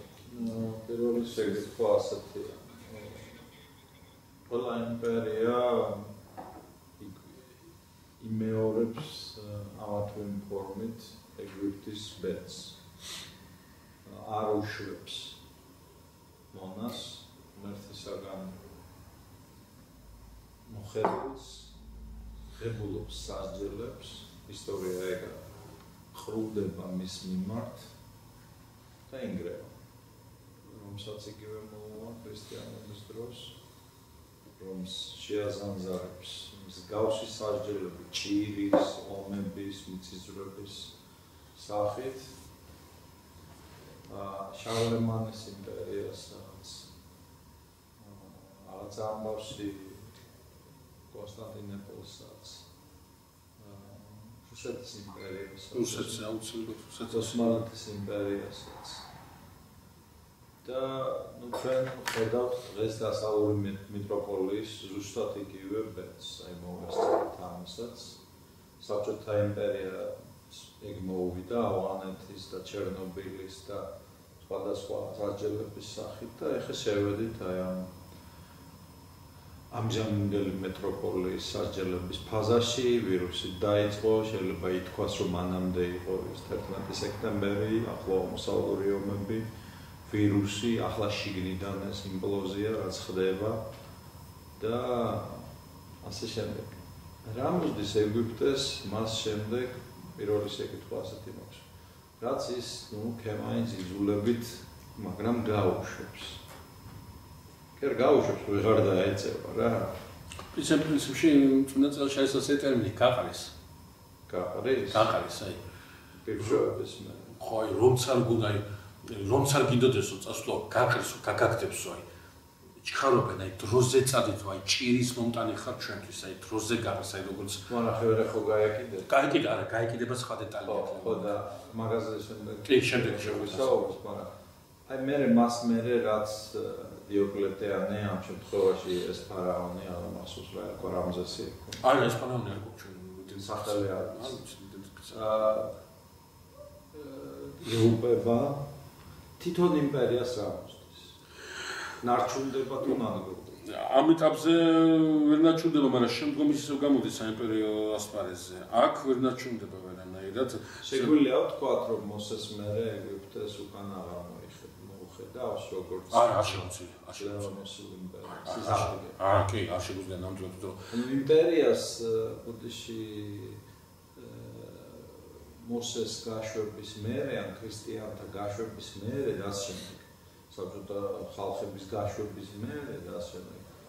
ეძლევა შანსი რომ გააგრძელოს ცხოვრება. გააგრძელოს ცხოვრება ყოველ შემთხვევაში იმ გამოცდილებით, რა გამოცდილებითაც მას რა გამოცდილებას მას დაუწუვა საშედება ყველაფერმა, ხო? ცოტა მოგვიანებით ემუტე იქნება ის ციაღი, რომელიც ციაღსაც თავში აფარებს ძალიან ხშირად ისტრელისაგან ტოლილი საზოგადოება. ეგვიპტეში ძალიან ეგვიპტე იმპერია თუ ერთი ქვეყანა არა ამ შემთხვევაში ეგვიპტეს იმპერიული ზრახვები აქვს ქანაანზე აფცელებს ქანაანის სამხრეთ ნაწილს ყოველ შემთხვევაში თავისი ის აქვს გავცელებული თავისი ინტერესები აქვს გავცელებული ისრაელი შევა 40 წლის მერე ქანაანის მუცაზე ამას ამას ამას ეფირამია იმპერიის შემთხვევაში ხალხი თავის ტერიტორიიანად აქვს დაპყრობილი იმპერიას. აქ ამ შემთხვევაში ეს ხალხი ჩასულია იმპერიაში. არა, ეს მოდიფიკაცია გამ. ეს ხალხი კია ჩასული, მაგრამ იმპერიული ის რა ქვია, ეგვიპტის რახვებია იმპერიული მაგრამ. არა, შეიძლება იდეოკრატიული არ იყოს პერსონალკრატიული იყოს, მაგრამ მოდი გამართოთ მასში ბიბლიურად რა არის იმპერია. ბიბლიურად? ხო, რას ნიშნავს იმპერია? ბიბლია როგორც ასეთი იმპერიის განმარტებას არ გვაწევს. კლასიკური გაგებით, რა კლასიკური გაგებითაც იმპერია განიმარტება, ხო? ბიბლიაში იმპერია გვაქვს როგორც ფაქტი. როგორც მოვლენა. პოსტფაქტუმ ხედავთ ჩვენ იმპერიულ წარ, რა ხედავთ ახლა ბაბილონის იმპერიის შესახებ. სამეფო, მეფე, კატეხონი. კი, კი, კი, კი. მეფე, სამეფო, მძლავრი არის ან კატეხონი, ანუ შემაჩერებელი ანტიქრისტეს მოსვლის. და მასშია მისი ამ მისი მძლავრის გამართლება. აა ანუ ის იკეთეს ემსახურება, რომელიც ემსახურება და არ უშვებს ანტიქრისტეს.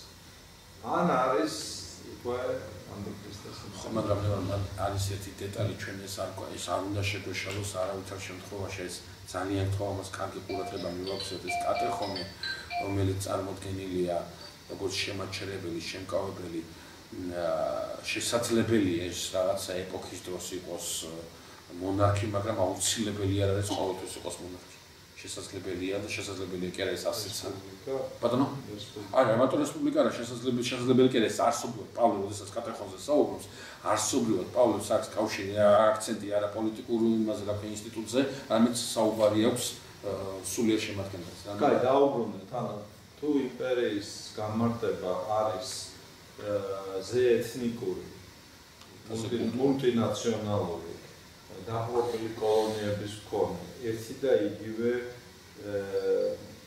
წესის ქვეშ მცხოვრები. საზოგადოება თუმცა რომში მასე არ იყო რომის მოქალაქე და კოლონიის სხვადასხვა. სხვადასხვა საზოგადოება აა ნუ ეგვიპტე არის იმპერია მაგრამ რომ აქვს დაყრობილი კი კანაანი სამხრეთ კანაანი ახლა რაც უფრო მეტად მოდის არქეოლოგიური მასალა სულ უფრო მტკიცდება რომ კანაანი სამხრეთი ამ მასინ დავაბრუნდეთ კაი შეკითხვას ბოდიში და აი მე მე კიდევ შეკითხვა დავსვა. აა როდესაც შეუგნებელი იმპერატორი ან ფარავანი ამ შემთხვევაში ვერ გაითავისებს გზავნილებს სასჯელებს იჯიუტებს და შეაყდება როგორც დიოკლეტიანის საცნობი შეგვიძლია ცალსახად თქვა რომ ამის მერე ასეთი უტუ და შეუგნებელი იმპერატორის მერე იმპერიას ახალი ცხოვრება ეძლევა თუ არა? რომ დიოკლეტიანის შემთხვევაში ეს ასე არ მოხდა და ფარავნის შემთხვევაში ეს ასე მოხდა დიოკლეტიანის შემთხვევაში თუ არ მოხდა რომი დაინდა? ხო პრაქტიკულად. ხო არა დიოკლეტიანი ბოლო ის არ იყო როგორც იყო რომული ბოლო იმპერატორის თუ არ იყო მაგრამ პრაქტიკულად დაინგრა. არ ვიცი, აი ჩემი თვითონ მარტივია რა. მიუხედავად შეუგნებელი იმისა, მართვების, პოლიტბიუროსი, თანამედროვე ამერიკული ესტაბლიშმენტისა, მას მე რაც მერტი მაინც თავის ნებას განახორციელებს, მისი ნება და ვერა ვერა.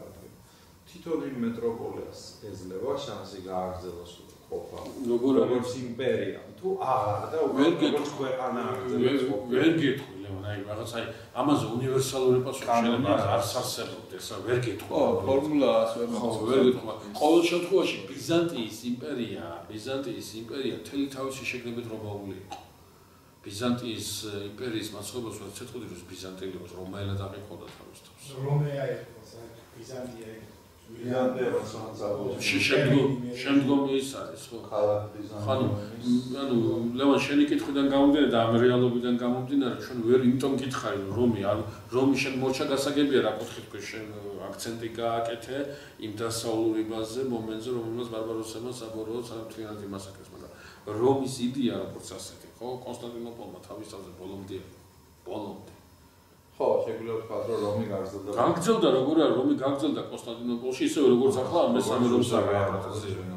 კაი, აა ბოდის მეორე შეკითხვაც მე არის ეგზეგეტიკაში არის ალბათ უფრო გვიანდელი მაინტერესებს თუმცა ადრინდელიც არის ამ სასჯელების განმარტება როგორც ვთქვათ უნივერსალური გზავნილი საიმპერიო არა არა არა. ეს ესე გააზრებული არა. ეს ერთჯერადი მოვლენა შეიძლება ერთჯერადი არც იყოს მაგრამ უნივერსალური არა შეიძლება ერთჯერადი არ იყოს არ არის უცვლელი ერთჯერადი პოლიტიკური უნივერსალურიც არ არის. ა პოლიტიკური წრეში ნაკლებად განიხილავ ხო ეს ერთი და მე მეორე რა არის იცი ძალიან საინტერესო რომ თვითონ ხო, საეკლესიო ეგზეგეტიკაში არის, საეკლესიო ეგზეგეტიკაში არის, როგორც საჯელების უნივერსალიზმიც არ არის. კარგი და პირველ წელში არის, აი ხო, საჯელები რომ გაიგოს ანამ არ მოგივიდა რა სპარა. კი, ეს არის? ხო, აი რა გახსენდება. ხო, ეს როგორ არა, ვთქვათ რომ რავი, მთელი ეს ისა, რა ქვია, მითითებაა ძველმამებთანაც აქვს, რომ უგუნურება რომელიც შესაძლებელია ნებისმიერ პიროვნებაში გაჩნდეს. ანუ ფარაონი ცხოვრობს ნებისმიერ ჩვენგანში, როდესაც ჩვენ უგუნური დამოკიდებულება გვაქვს. ეს როგორ არის? ეს კიდე უკროპესა აქვს ძალიან შესანიშნავი ისა და ამბრო პროსმედიონანეს კონი ხო? პირდაპირ აქვს მით კონი ხო ამბროსმედიონანეს აქვს კი, როდესაც საუბარი ამასთან დაკავშირებით, რომ შენში ფარაონი უნდა გრიგოლ მოსელი პირდაპირ შენში მოკალი გუტელი. როგორ არის ეს პერსონიფიცირება როგორ ხდება? კი კი ეს არის. მაგრამ მაგ საინტერესო და არის არის ერთი მომენტი შენ კითხოს არ უკავშირდება ეს თავის თავაცხადია მაგრამ გამომჩა მე უბრალოდ ფარას თავარი თხრობიდან გადავიდოდი და ამიტომ რაღაცა თქვი აი 10 სანჯელი რომელიც ჩვენ ჩამოვასახებთ მიათეზე არ ვილაპარაკია ჯერ. ხო ნაწილი აშკარად სასწაულებრივია ნაწილი ნიშებით არის წარმოდგენილი. ხო? ცოცხალის აშკარად სასწაული. კალიების მოდელი ნიში არ არის სასწაული. თქვენ შეიძლება შეხვდეთ ასეთ მიმდინარეობას ნატურალისტები ეწოდებათ მათ რომლებიც ერთი შეხედვით ძალიან ძალიან ქრისტიანული საქმით არიან დაკავებულები რა არის ეს? აი ბიბლიაში ეს სასწაულები რომ მართლა მოხდა. რომ ეს არის ხაპარი ეს არის ლეგენდა რომ ეს მართლა მოხდა.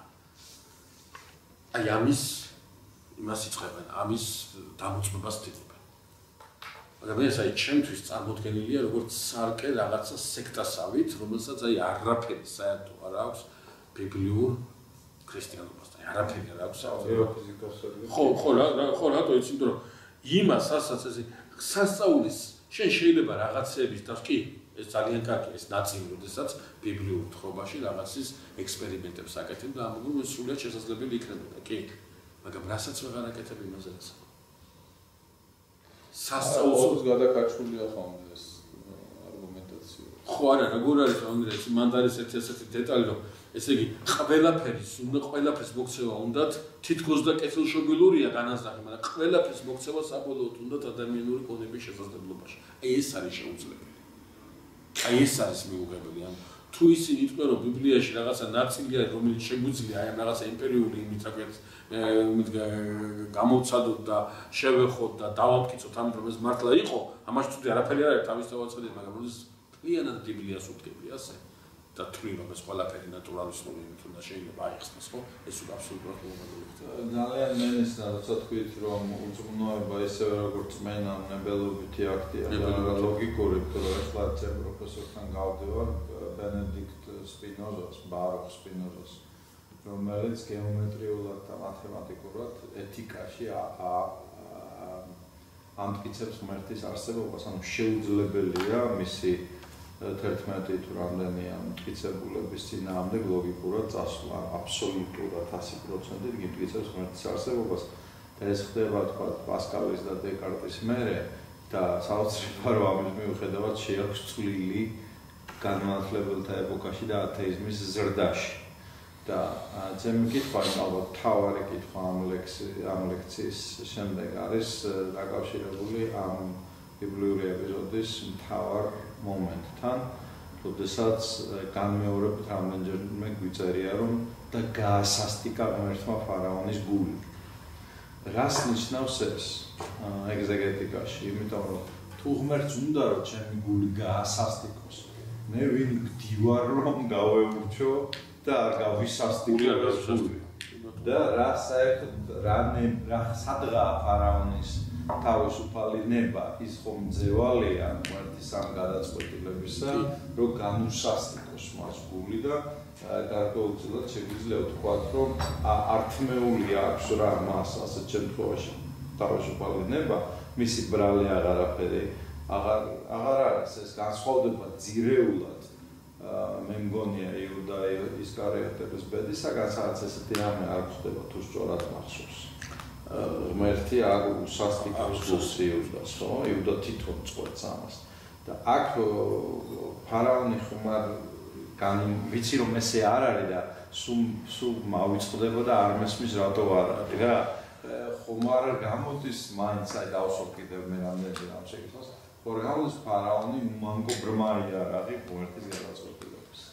აა მით უმეტეს უნდა წერილში წერია ესეთი რაღაცა რომ ეს მე ვარ რომ არ ვაშვებინე ფარაონს თქო. ხო, ანუ უბრალოდ ლასა უბრალოდ კიდე ერთი ფრაზა წერია ძალიან საინტერესო. ამდენამი სიმიტო ვაკეთებ რომ დაინახოს ფარაონმა რომ მე ვარ უფალი. კიდე ერთი ფრაზა წერია. იმიტომ რომ შენ შვილებს და შენ შვილიშვილებს მოუთხო რა გავაკეთე ეგვიპტეში. და პრინციპი ამას რომ მე ვაკეთე. ჩემი საქმეა. მეორე დეტალი ჩვენ წინა იმაზე ამაზე ამას შევეხედეთ, ხო, კარგად არ შევხედი ვარ, ამ თუ კიდე ერთხელ შევეხედე. მეორე დეტალი, რომელიც ამ ნიშნით გვახსენდება ლევანეს არის ბრმაჩობილის განკურნება. გახსოვს, ხო, ვინ ცოტა ამან თუ ამ შობლებს. მიზეზი, რატო იტანჯება ეს კაცი? მიზეზი და თამერთი დიდოს. საოცარ არა, არა, აბა რატო? მე მინდა და ჩემს დიდებას უნდა. ეს პასუხი.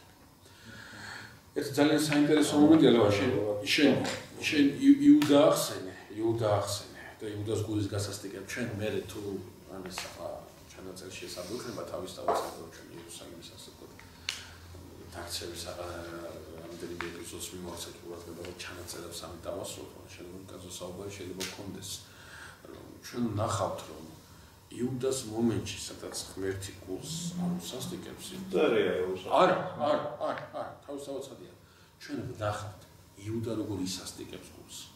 ძალიან კარგად ჩასასახარებაში მე რამდენიმე ანუ რომ იუდან თავისუფალია თავის ნენაში და ფარაონი მე რამდენი რამდენიმე თვის უკან რამდენიმე საახლობი ჩვენ ნახებს ორი თვის უკან. სახარება წავიკითხე იუდას პერსპექტივა ისკარიოტელი, ანუ სახარებას ისკარიოტელის უსკენ უნდა კითხულობდე, სახარებას ქრისტესთვის უნდა კითხულობდე, ქრისტესთან უნდა მიგიყვანო სახარება უნდა რა ისკარიოტელი. აი გაუბედე და წავიკითხე, ყოველ შემთხვევაში რაღაც ძალიან საინტერესო კვლევას წავაწყდი და წავიკითხე, აი, აი ამ ადგილას იუდა როგორა, აი ამ ადგილას იუდა რას მეუბნება სახარება, რას ძალიან საინტერესო რამეები იკვეთება, ძალიან საინტერესო. დასკნა არის ეს. ბოლოს მე იუდა ყავს გულ გასასტიკებ ზუსტად ეგ არის დასვლა. იუდა ეს არის ფარაონი, თავისი ცხოვრების ფარაონი.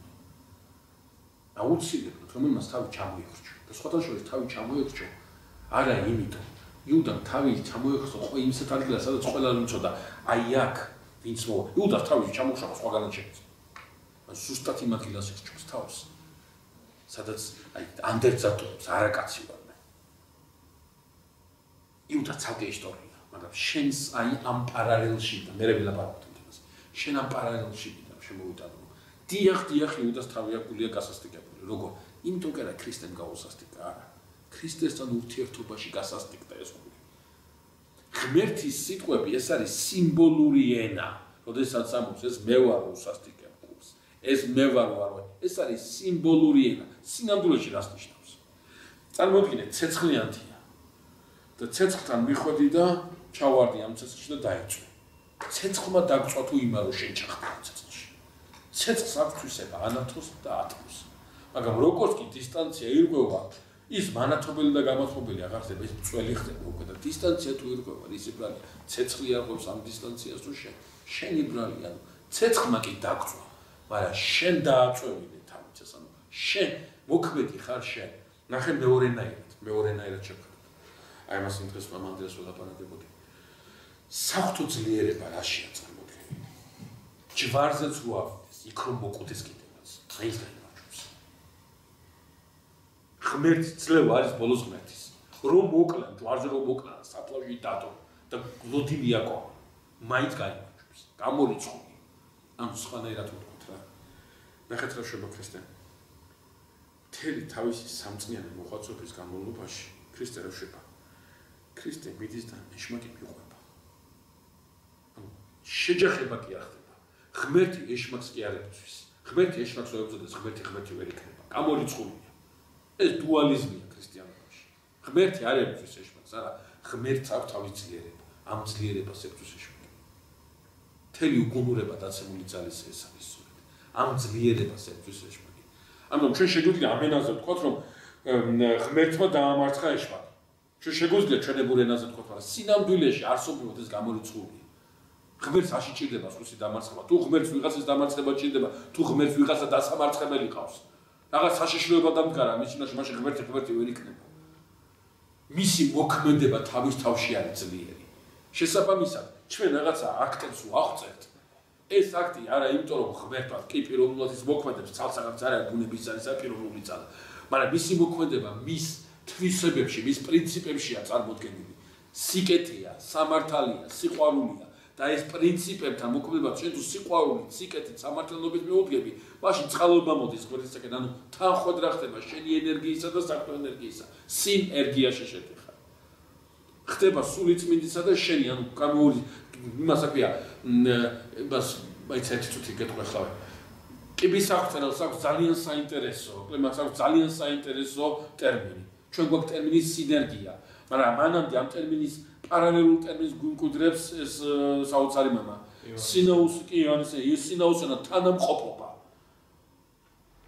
თანამყოფობა სინაუსიო, ანუ სინერგია, სინუსია, ანუ თანამყოფობა, სინერგია, თანამოქმედება, სინაუსია, თანამყოფობა, ანუ ბონაზუს ის განიხილავს როგორც ღმერთთან თანამყოფს. ანუ ის რომელმაც თავისი ნება გადააბარა, თავისი მყოფობა მიუახლოვა ღმერთს. ეს ძალიან მნიშვნელოვანი მომენტია. ანუ ფარაონთან დაკავშირებით როზე მე ვარ უსასტიკე გულს ღმერთი კი არ უსასტიკე. ეს მე ვარ ამას ვაკეთებ. მაგრამ ფარაონი ამ ყველაფერს რადგან არ იმაშობა მე ანუ თქვა მოწყალებით აი იმას არ უყურებ. მოწყალებით არ უყურებ თუ არ გამომივიდეს ანუ ჩემი მოქმედება ამ შემთხვევაში ფარაონის გულის გასასტიკება დაილეკება. იოანის რა ქვია ორიგენი ამოს ასეთ რაღაცას. აი გავიხსენოთ თესლისა და თესლის შესახებ მაცხოვრისი გამო, ხო? თესლი ერთი. მაგრამ გააჩნია ნიადაგს რომელშიც მოხდება. ანუ მე რესტორანი გავიქცე რომ ჩოგები კითხეთ. როგორ გავიგო ეს უიშვიათესი ზმნა კაუშასტიკ. აა გავიგო მე ეს როგორც დაუშვა თუ გავიგო ეს როგორც აიძულა. დაუშვა. აი ძულა, აი ძულა რავთაში. ან აქ არ უქმდება ფარაონის როგორც ნებისმიერი ადამიანის თავისუფალი ნება. დაუშვა მის. დაუშვა. აბა ნახე, წინა ლექციაზე მე რათქვი. სულიც მიდის მადლს აქვს რამდენიმე მოქმედება. ხო აი არც ყოფილი არის, მაცხოვრებელი არის, ნიჭთან ნიჭებელი და ასე შემდეგ. ფარაონი რომ მართავს ქვეყანას. მას ხო რაღაც ნიჭიერება ჭირდება. ისე ბერებათაზე ეს ნიჭიერება საიდან უნდა. რადგან მან თვალი დაუხუჭა ფარაონი დის ხუჭავს თვალს? გულს გაუსასტიკებ ეს იწება სწორედ როდესაც კვერთხი მოსეს კვერთხი შეჭავს ფარაონის კვერთხებს ხო? აი აქ გულის გასასტიკებელი ასე შავს ფარაონმა თქვა რომ ის ნიჭიერება რა ნიჭიერებითაც მიახლა დასვლა უნდა გამოვიტანოს ნიჭიერება მიჭირდება მე თვითონ ვიცი აი ეს ნიჭიერება ცილდება ხო ანუ მე ქრონოლოგიურად მაინტერესებს რიგივე ზნა მგონი იმაშიც ხდება დაუჯდომში გიორგისა დიოკლეტიანის შესახებ მისი გულის გასასტიკება და და ქრონოლოგიურად აი ეს ჩემთვის მნიშვნელოვანია რა გასასტიკება ღმერთისაგან გულის არ ნიშნავს ნების გაუქმება. არავითარ შემთხვევაში. ეს ნიშნავს რომ დაშვებას მის თავზე. ეს ალბათ არის იმ ფარულის გამოვლინება, რაც მაშინ ფერცხოვების განმავლობაში განწყობები შეუხსნა და დაცვა და მაგრამ შემაკვა შეჭა. ხო, ანუ მოუხსნა ესეც ესეც ძალიან ისე უნდა ვთქვა, ძალიან კარგად და როგორც ამხობოროტება არ არსებობს, არსებობს ხოლმე სიკეთის შემცირება. ხო, ანუ აი უნდა უნდა გავიგოთ სწორედ აი აი ანუ ღვთივშენიურად უნდა გავიგოთ, ანუ მოუხსნა რას ნიშნავს? რაც არ უნდა და ის თავზე არ მოახვია. ანუ არ უნდა რა ამ ფარაონს ეს ის აი არ უნდა. აი ამდენჯერ აი ადამიანთან გესაუბრია ხო რაღაცა სიყვარულის აუცილებლობაზე რაღაცა კეთილსინისიერების აუცილებლობაზე არ უნდა რა აი არ უნდა. ნახე რა საინტერესო თავის დროზე ერთხელ გითხარი და კიდე ერთხელ მინდა გითხრათ ეს რა. რო არ უნდა რა უნდა უნდა გაცილო უნდა ლოცვა უნდა გააკეთო იმას უნდა ილოცვა აუცილებლად მაგრამ არ უნდა უჩიჩინო. ხო ნუ მარტი გააცილდა გავუსვასტიკებული. აი ხა გასაგები. ღმერთი მოეხსნა რა და ამას მოეხსნა ღმერთმა მოეხსნა ის ამ დაშვებით რომ რაც არ უნდა და ღმერთმა არის. ხო აი რატო ეს გამოსა საჭირო მაგარატების garaშე შეიძლება მე არასწორად ვიცი გრამატიკა როცა კითხულობ ეს ნა აღიქმება როგორც ღმერთის მოქმედება ან გულის ასეც არის დაწერილი იმიტომ ენა ლამა რას ჩვენ რას უნდა დაუკვირდეთ კიდე იცი ჩვენ ახლა ჩვენც ამბობთ რომ მოსე ეტყვის ცოტა მოგვიანებით ებრაელ ხალხს რომ ქართულად არ მახსოვს როგორ არის სასტიკი ჟესტოკა ვინი სასტიკი ჯიშნიანი თუ როგორ არის ხალხი ხალხ და მაგითო დაგიწერა ღმერთმა ეს ისე ღმერთი მოსეზე ამბობს აი ღმერთი ამბობს მოსეზე შურის მგებელი ღმერთი ვარ მე სასტიკი ღმერთი ვარ მე ეს რომელი ღმერთი ამბობს? ჯვარს როცა ეს კაცი.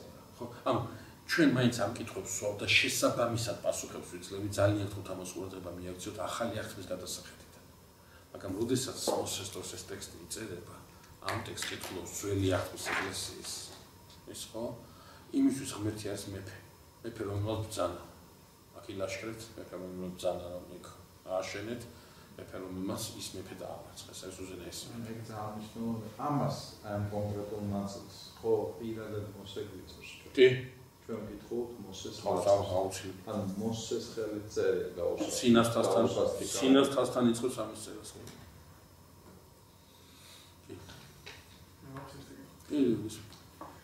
ეს და ნაში არის ასე უცებ სკეპტიკოსი პროპაგანდაების მხრიდან რომ ძველი აქტის მერტიო არის რომ კაცლები უფრო შუის მასიბელი ნიშის მომგებიანი მერტი უფრო რაც აი ყველაზე სუპუქში პასაცას ეკერებენ არის კაცლი და ვიდრე ახალი მერტი და ანუ მე შემი ახლა დაახლოებით მაქვს რატო შეიძლება იყოს ასე მაგრამ რა ამის ის რა ხდება რა ხდება თვითონ კითხვა არა კორექტული ძველი ახსნის და ახალი ახსნის ეს პროექტი მერტია თვითონ კითხვა კითხვა. ანუ რა რა მინდა იცი? ხშირად დღეს ჩვენ კითხოს თავაზობიდან კითხვაში რასაკეთებელი იცი?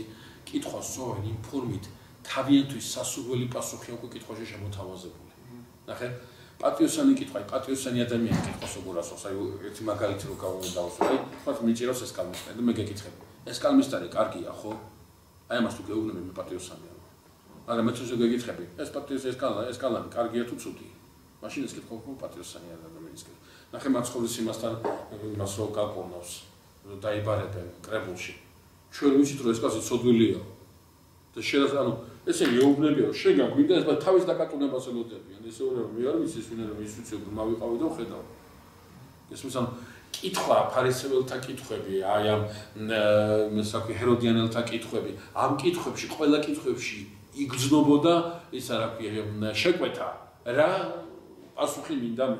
ამიტომ როდესაც რატო რატო წავიდე ეს შეხს როდესაც კითხვა ისმება ასე ძველი აღთქმის ღმერთი და ახალი აღთქმის ღმერთი უკვე ამ კითხვაში თავაზობენ წარმართულად, ანუ არამართებულად მიუდგე ამას. ანუ კითხვა უნდა შენ თვითონ უნდა და კითხვის კოლექტირება მოახდინო და უნდა უთხრა. ძველი ახლის ღმერთი, ახალი ახლის ღმერთი არსებობს, არსებობს ღმერთი, რომელიც გვეცხადება ძველ ახსმაში და გვეცხადება ახალ ახსმაში. აი უკვე დაკოლექტირებულია ყველაფერი და აბსოლუტურად გასაგებად შეგვიძლია საუბროთ, თუ კი ეს არის ის ერთი ღმერთი, რომელიც ძველ ახსმაშიც მოქმედებს და ახალ ახსმაშიც მოქმედებს, მე ვამბობ, რომ ეს ერთი ღმერთი არის ჯვარცმული ღმერთი. და ჯვარცმული ღმერთი ასეთი სასტიკი. აი ჯური დავიწყებ ამის ახსნას გესმის? და ამ სისტას ამ სისტასტიკის თქვა იქ სოფლები იხოცება, ქალაქები იხოცება, ოჯახები იხოცება, პირდაპირეობები ყოფილი ხო? ამ სისტასტიკის აი მიზეზებს ვეცე. ბრავალი შეიძლება იყოს თქვა რატო იგრძალება უცხო ტომოზე ქორწინება, იგრძალება იმიტომ რომ ჩემში არ მოხდეს უცხო ღმერთებთან იდეური ქორწინება. ამ ამ ფიზიკურმა აქტმა ჩემში იდეოლოგიური აქტი არ გამოიწვიოს. როგორ უნდა გამოიწვიოს? დღეს ცოტა ძნელი გასაგები შეიძლება იყოს, მაგრამ მაშინ ეს ძალიან მარტივი იყო. უმარტივესი იყო. რომ იმდენად ასიმილირებული და იმდენად дискრიმინირებული ხდებოდი კულტურაში, უცხო კულტურაში და უცხო კულტურის მიერ, რომ პრაქტიკულად შენი არ ჩებოდა არაფერი. ძალიან მარტივად გადადიოდი ერთი ღმერთიდან მეორე ღმერთისაკენ. თვითონ ტერმინი ჩვენ მე ამას შევეხებით ახლა არ გაგიგრძელებ ტერმინი ბაალი ნიშნავს мама ღმერთს ბავა ალ ელ ანუ ბა мама ელი мама უფალი ის ჩვენ ჩვენ ბაალი ტერმინი ახლა ღმერთს კერპს ქვია თორე იმ კულტურულ ენაზე мама ღმერთის თაყვანისებაა мама უფალის თაყვანისებაა და ვინ არის აბა ეს რა მოსეს ღმერთი мама უფალი არ არის ისე მარტივად შეიძლება ბაალი მოსეს ღმერთი ჩაანაცვლო როგორც არაფერი ამას მე ელია იტყვის. და ჩვენ მე ვნახავთ რა ელია და მოსე რატო თაბორის თაზე და არა სხვა თქვა ა ブラ ამი და დავითი რატო არა. ამიტომ როდესაც იმ ეპოქაზე მაქვს საუბარი მაქვს საუბარი ეპოქაზე სადაც დედა შულს ხარშავს იმისათვის რომ შეჭამოს რომ ალყის დროს გადარჩეს სადაც ძალიან მარტივად ხდება სადაც ღმერთი დაუშვებს ასეთ რაღაცას ღმერთი დაუშვებს ასეთ რაღაცას რომ მამაკაც ყავდეს ცოლი და თანაცოლი იმიტომ რომ მამაკაც თანაცოლის უფლება თუ არა აქვს მამაკაცი თავის სულს ისეთ რამეს უსავს ან გაამწარებს ან ან მოკლავს, ან ცხოვრებას გაუმწარებს თუ იმის გამო რომ ამისგან უფლება მიიღოს და სხვა ხალხთან წავიდეს. ამ ხალის ის უარ გამწარდეს, ეს ხალი რომ მაქსიმალურად დაცული იყოს იმ დროინდელი პირუტყვის დონემდე დასული მამაკაცისაგან. ამიტომ აი ეს დაშვებები ხდება, მთელი რიგი დაშვებები ხდება. ხდება ძალიან კაცრი მოთხოვნები, ვინაიდან ამ სიმკაცრეს ამ სიმკაცრეს ახალ ახმაში ვერ ხედავთ. ანანია და საფირა უნდა დააშავოს. პეტრე მერტი გადახედა სული წმინდას და იგი სული სული გაახრობინა იქვე. იოანე ოქროპერიანს არაფრის გეშინოდეთ ყველა იმაზე მეტად რომ ყოვლად მოწყალე უფალი პირსი ბრუნებს თქვენთან და გეტყვით არ გიცნობთ. პირიდან მას უნანელი დედაკაცი მოკლა პედაგოგწერია დაუჯდა. შეუნანელი დედაკაცი. ხო ანუ ანუ კითხვა კითხვაში დევს და მე უბრალოდ თავარი მიზეზი მაინც ის გონია რომ ძველი ახლის ადამიანი თვითონ რა. ადამიანზე ძველი ახლის ადამიანი. ან შეგები ისეთი იყო რომ აი ახალი ახლის კანონიურად დაგეგმო მისთვის რა ახალი ახლის რეალობას არის უბრალოდ ფისობლად ვერ გაიგებდა. ბოლომდე გეთანხმები. მან მოვდიოდი მაგი უნდა მეთქვა. ბოლომდე მართალი ხარ მან მოვდიოდი იმიტომ რომ თუ კი ღმერთი ამბობს მარჯვენაში თუ გაგატყოვენ მარცხენაში გაგატყოვენ იგივე ღმერთი ამბობს მაჯურეს თუ გაგატყავი მაცხენაში ისე ისე მიუბრახურო მეორე არ გაგიბეთოსო ანუ თუ კი თუ კი აა ძველაქთმაში შიშია ის რაც აჩერებს ადამიანს ახალაქთმაში ეს შიში ჩანაცვლებულია სიყვარულით ან ძველაქთმაში რაღაცას ატო არ ვაკეთებ იმიტომ კი არა რომ ამის ამას როგორ ვიკადრებ არა იმიტომ რომ ამას თუ ვიკადრებ ასეთ რაღაცას გამიკეთებ ეს მაჩერებს მათ კითხვაში მე მგონი ის კონტექსტიც არის ჩადებული რომ ღმერთი სინამდვილეში არის ადამიანის რაღაცა იდეა. და ან როკითხულობს ეგრევა ჯული ახსნით და ახალი ახსნით და მაგ კონტექსტით კითხულობს რომ აი მაშინდელი მიწიდან ხედავს ზეცას და რა ზეციდან მიწას კი ბატონო უცვალებელმა განიცადა ცვალება ხო. აქედან ამ იმით აფასებს ამ პარამეტრებით აფასებს თავისთავად ხდება იმიტომაც აკვი თავში მეთქეს რომ თუ ამ კითხვაზე პასუხს დაიწება, უცლებად ვერ გასცემ პასუხს რა. ამ კითხვას პასუხი წარმართული პასუხია.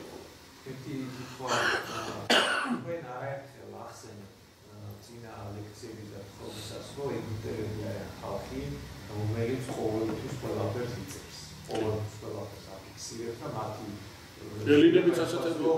ბატონობაც კი ამაზე დგას. ო ისე ცოდნას ინახავთ.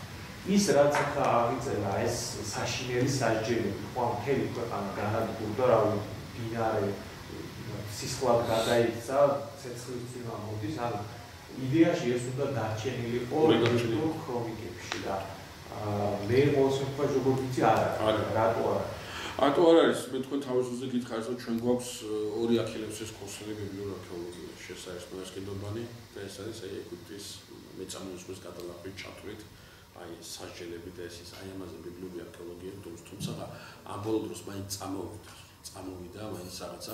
ოღონდაც არქეოლოგიური მასალები და არა დოკუმენტალური თქვა რაც გულისხმობს ისტორიულ წყაროს წყაროს თვალსაზრისით. მაგრამ აი კედრის ხატრობა თქვა რაღაცა კარგული მითითებები რაღაც არეულობასთან დაკავშირებით ქვეყნის იმას. რა მინდა გითხრით აი დროშიც ზუსტად ლოკალიზება ვერ ხდება ხო? აი როდის არის? ზუსტი ზოგად ლოკალიზება ხდება მაგრამ ზუსტი ვერა ზოგადი კი, მაგრამ ზუსტი ვერა. ფარაონის სახელის სამს. ადრე ასახელებდნენ ამ ფარაონს, მაგრამ ახლა იმდენი წყარო აღმოჩნდა და დინასტიური იმდენი სულები ყო მე-16 დინასტიაზეა საუბარი. უბრალოდ ახლა ის ძალიან არამეცნიერულია ფარაონის სახელი თქვა. მე კიდე ნაციონალურ გეოგრაფიკის ფილმში დანახი მართლა ერთ-ერთი ფარაონის სულების ანალიზმა და აღინიშნა დაერჩო მეცამოს ვაში, მაგრამ მე ესე გავცემ ზურას კითხვას პასუხს რომ ზოგადად როგორც ეს იმპერია თავის საჟელებს არ აღწევს.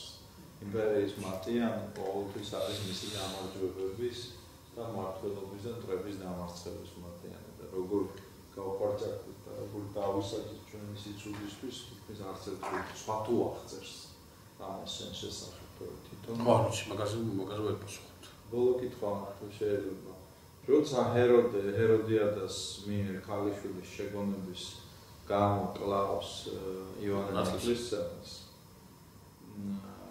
ცხადა წერია რომ დაონდაო ჰეროდეო მაგრამ აღარ გატეხა პირობა ამ თავის ძმისშვილის ჰეროდიული ცეკვით აღტკინების დროს მიცემული პირობა თავისი ხლებლების გარშემო. ხირსება შენა. ხო. აი მაგდა ანუ აშკარად არ უნდოდა, მაგრამ იძულებული გახდა.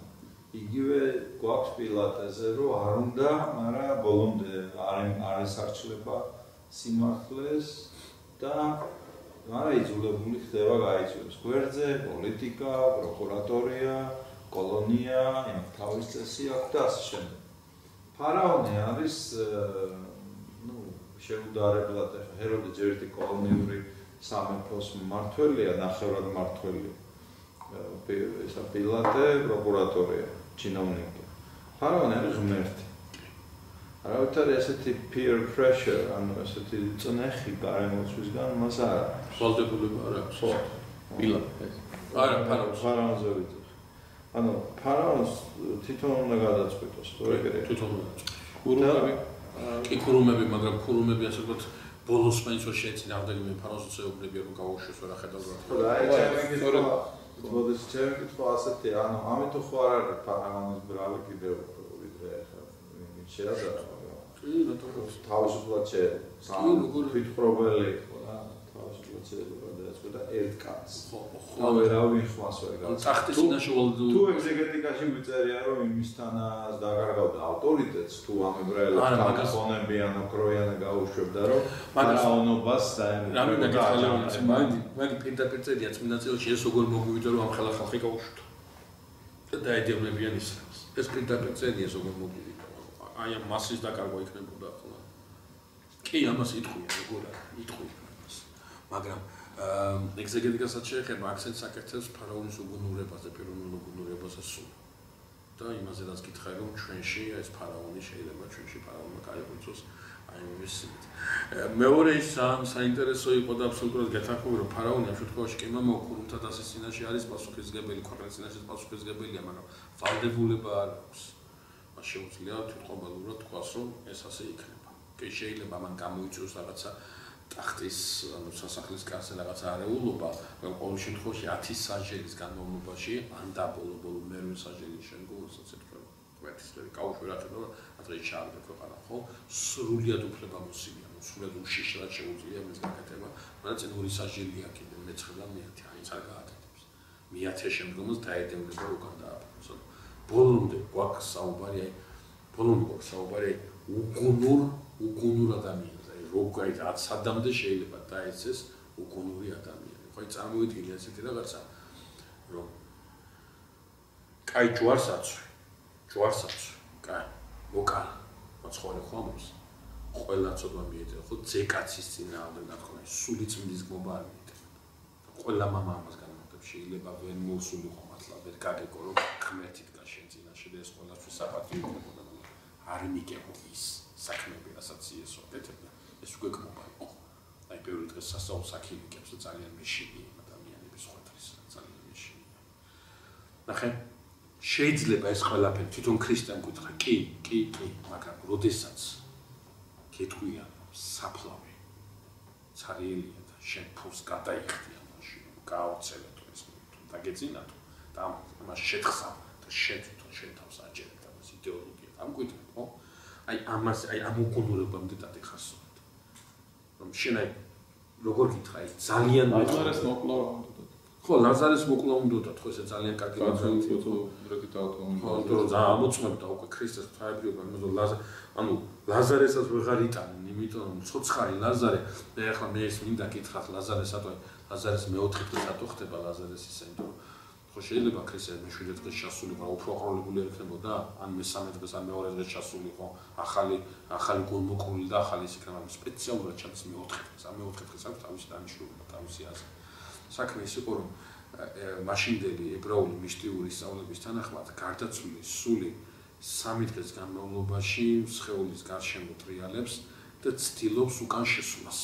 და მეოთხე დღეს ეს ისე იხცნება, რომ უკვე ძულდება და გაგარფის ამის განამდო აი იქ არის ხო მიცვალებულებს აღადგენს ქრისტეს და ყველა იმაზე შეეძლოთ ებრაელებს ჭორი გაევრცელებინათ რომ სულ ქრისტემ კი არ აღადგინა იესო კი არ აღადგინა სული შეძრო უკან როგორც ამ ჩვენ გასავლით მაგრამ ლაზარეს აღდგინება რა იცი ლაზარეს აღდგინება აი გააშვა აი ვერა აი ვერაფერს ვერ თქვი რომ ეს მეოთხე დღე სპეციალურად არჩევს ამას ქრისტე. რომ მეოთხე დღე უნდა იყოს ის რომ რომ აი წესით ეს სულიც აღარ უნდა თვითონაც ჩერდებიან. ან ლაზარე რა არის? ცი ლაზარი არის, აი სამ უნდა მოუკლათ ამ ქრისტე ვარიანტ. და ამიტომაც ხო ეს ძალიან კარგი მაგალითი იყო, თქო რომ აი აი ეს უგუნურება, ხო აი, როდესაც აი სიტყვაზე თქვა, ხო? კი, პანდემია როგორ არ შეგვიხო, მაგრამ ნუ თუ ვერ ხედავს დღეს ადამიანი მწყალობას, დაწყალობას ღვთისმშობელმა მოიგო ამ ქვეყანას. არის თუ არა ეს უგუნურება ამის დაუნახაობა? არის თუ არა უგუნურება ამის და ამის თვალების დაბალმა სასჯელი გველოდება თუ ვერ დავინა ხო და ამიტომ ამბობ აი გულწრფელად ვამბობ რომ როდესაც მამა როდესაც მამა ლოცულობს მშვიდობაზე და თანამლოცველი ვართ ჩვენ ხო აი ჩვენ აუცილებლად უნდა ვილოცოთ იმათვის რომელსაც აი თავს იგუნურებენ თავს სხვათა შორის მე ეს არ მithqავს მაგრამ დღევანდელ თხრობაში ჩანს ბიბლიაში ძალიან საინტერესო რაღაცა. მოსე რომ გავა გომბეშვების მის შემდგომ ხო? გავა მოსე ფარავიდან წმინდა წელში წერია ასეთ რაღაცა შეღაღადა უფალს ანუ ილოცა. შეეძლო მოსეს დაეწერა ასეთი სიტყვა რომ ილოცა უფალ ილოცა მოსე მუფლის წინაშე ფარავნისათვის კი არ ილოცა შეღაღადა სიტყვა ღაღადი არის სპეციფიკური ტერმინი არის წმინდა წერილში რომელიც გულისხმობს აი ამოკლუ როცვას კი არ გულისხმობს აი უამოიკუნესი და ის ეს თქო რაღაცას. აი მაგალითად სოდომელთა ღაღადი ეს მაგმეც ასნიშნავს აბელის სისხლის ღაღადი წრო ხო ხო. ეს არის აი უმაღლესი ინსტანცია ანუ ანუ აი კივილი აი რო აი აი ადამიანთა შორის შენ აღარაფერი ღაღ ხო რაღაცა ეს ღაღა აი მოსი ასე შეღაღადებს ანუ უბრალოდ კი არ ილოცებს ღმერთო არა თელი გულით რომ ფარაონს მოაცილეს ის ამიტომ ესე ძალიან მნიშვნელოვანი მომენტია და ეს ის ღმერთია რომელიც ფარაონისთვის ლოცვასაც ისმის ამიტომ ამიტომ ვამბობ რომ ეს უგუნურება, ფარაონის უგუნურება არ უნდა გამეფდეს ჩვენში, იმიტომ რომ ძალიან ძიმია, ძალიან ძიმია და ძალიან რთულ მდგომარეობაშია და ძალიან საბრალობელ მდგომარეობაშია მართლა ის ადამიანი, რომელიც აი არ ხედავს იმ წყალობას, დაწყალობას ღმერთმა უყო ჩვენ მამაპაპას. არ ხედავს იმ წყალობას, დაწყალობას ღმერთმა დღეს გვიყო ჩვენ, ხო? ანუ შორსკი აი ხო და შესაბამისად, რა ვიცი ახლა შეიძლება რაღაცა თეოლოგიაზე დადოს თავი შეიძლება თავისი იმით რა ქვია რა ვიცი რაღაცა ენაწყლიანობით ბევრი მოინადიროს და ბევრი მონუსხოს ზოგმა ერმა ზოგმა პერმა არა აქვს ამას მნიშვნელობა მაგრამ როდესაც ამ უგუნერებაში ხარ და წყალობას ვერ ხედავ მაშინ ძალიან ძიმე სულიერ მდგომარეობაში უმძიმე სულიერ მდგომარეობაში დიდი მადლობა. გაიხარეთ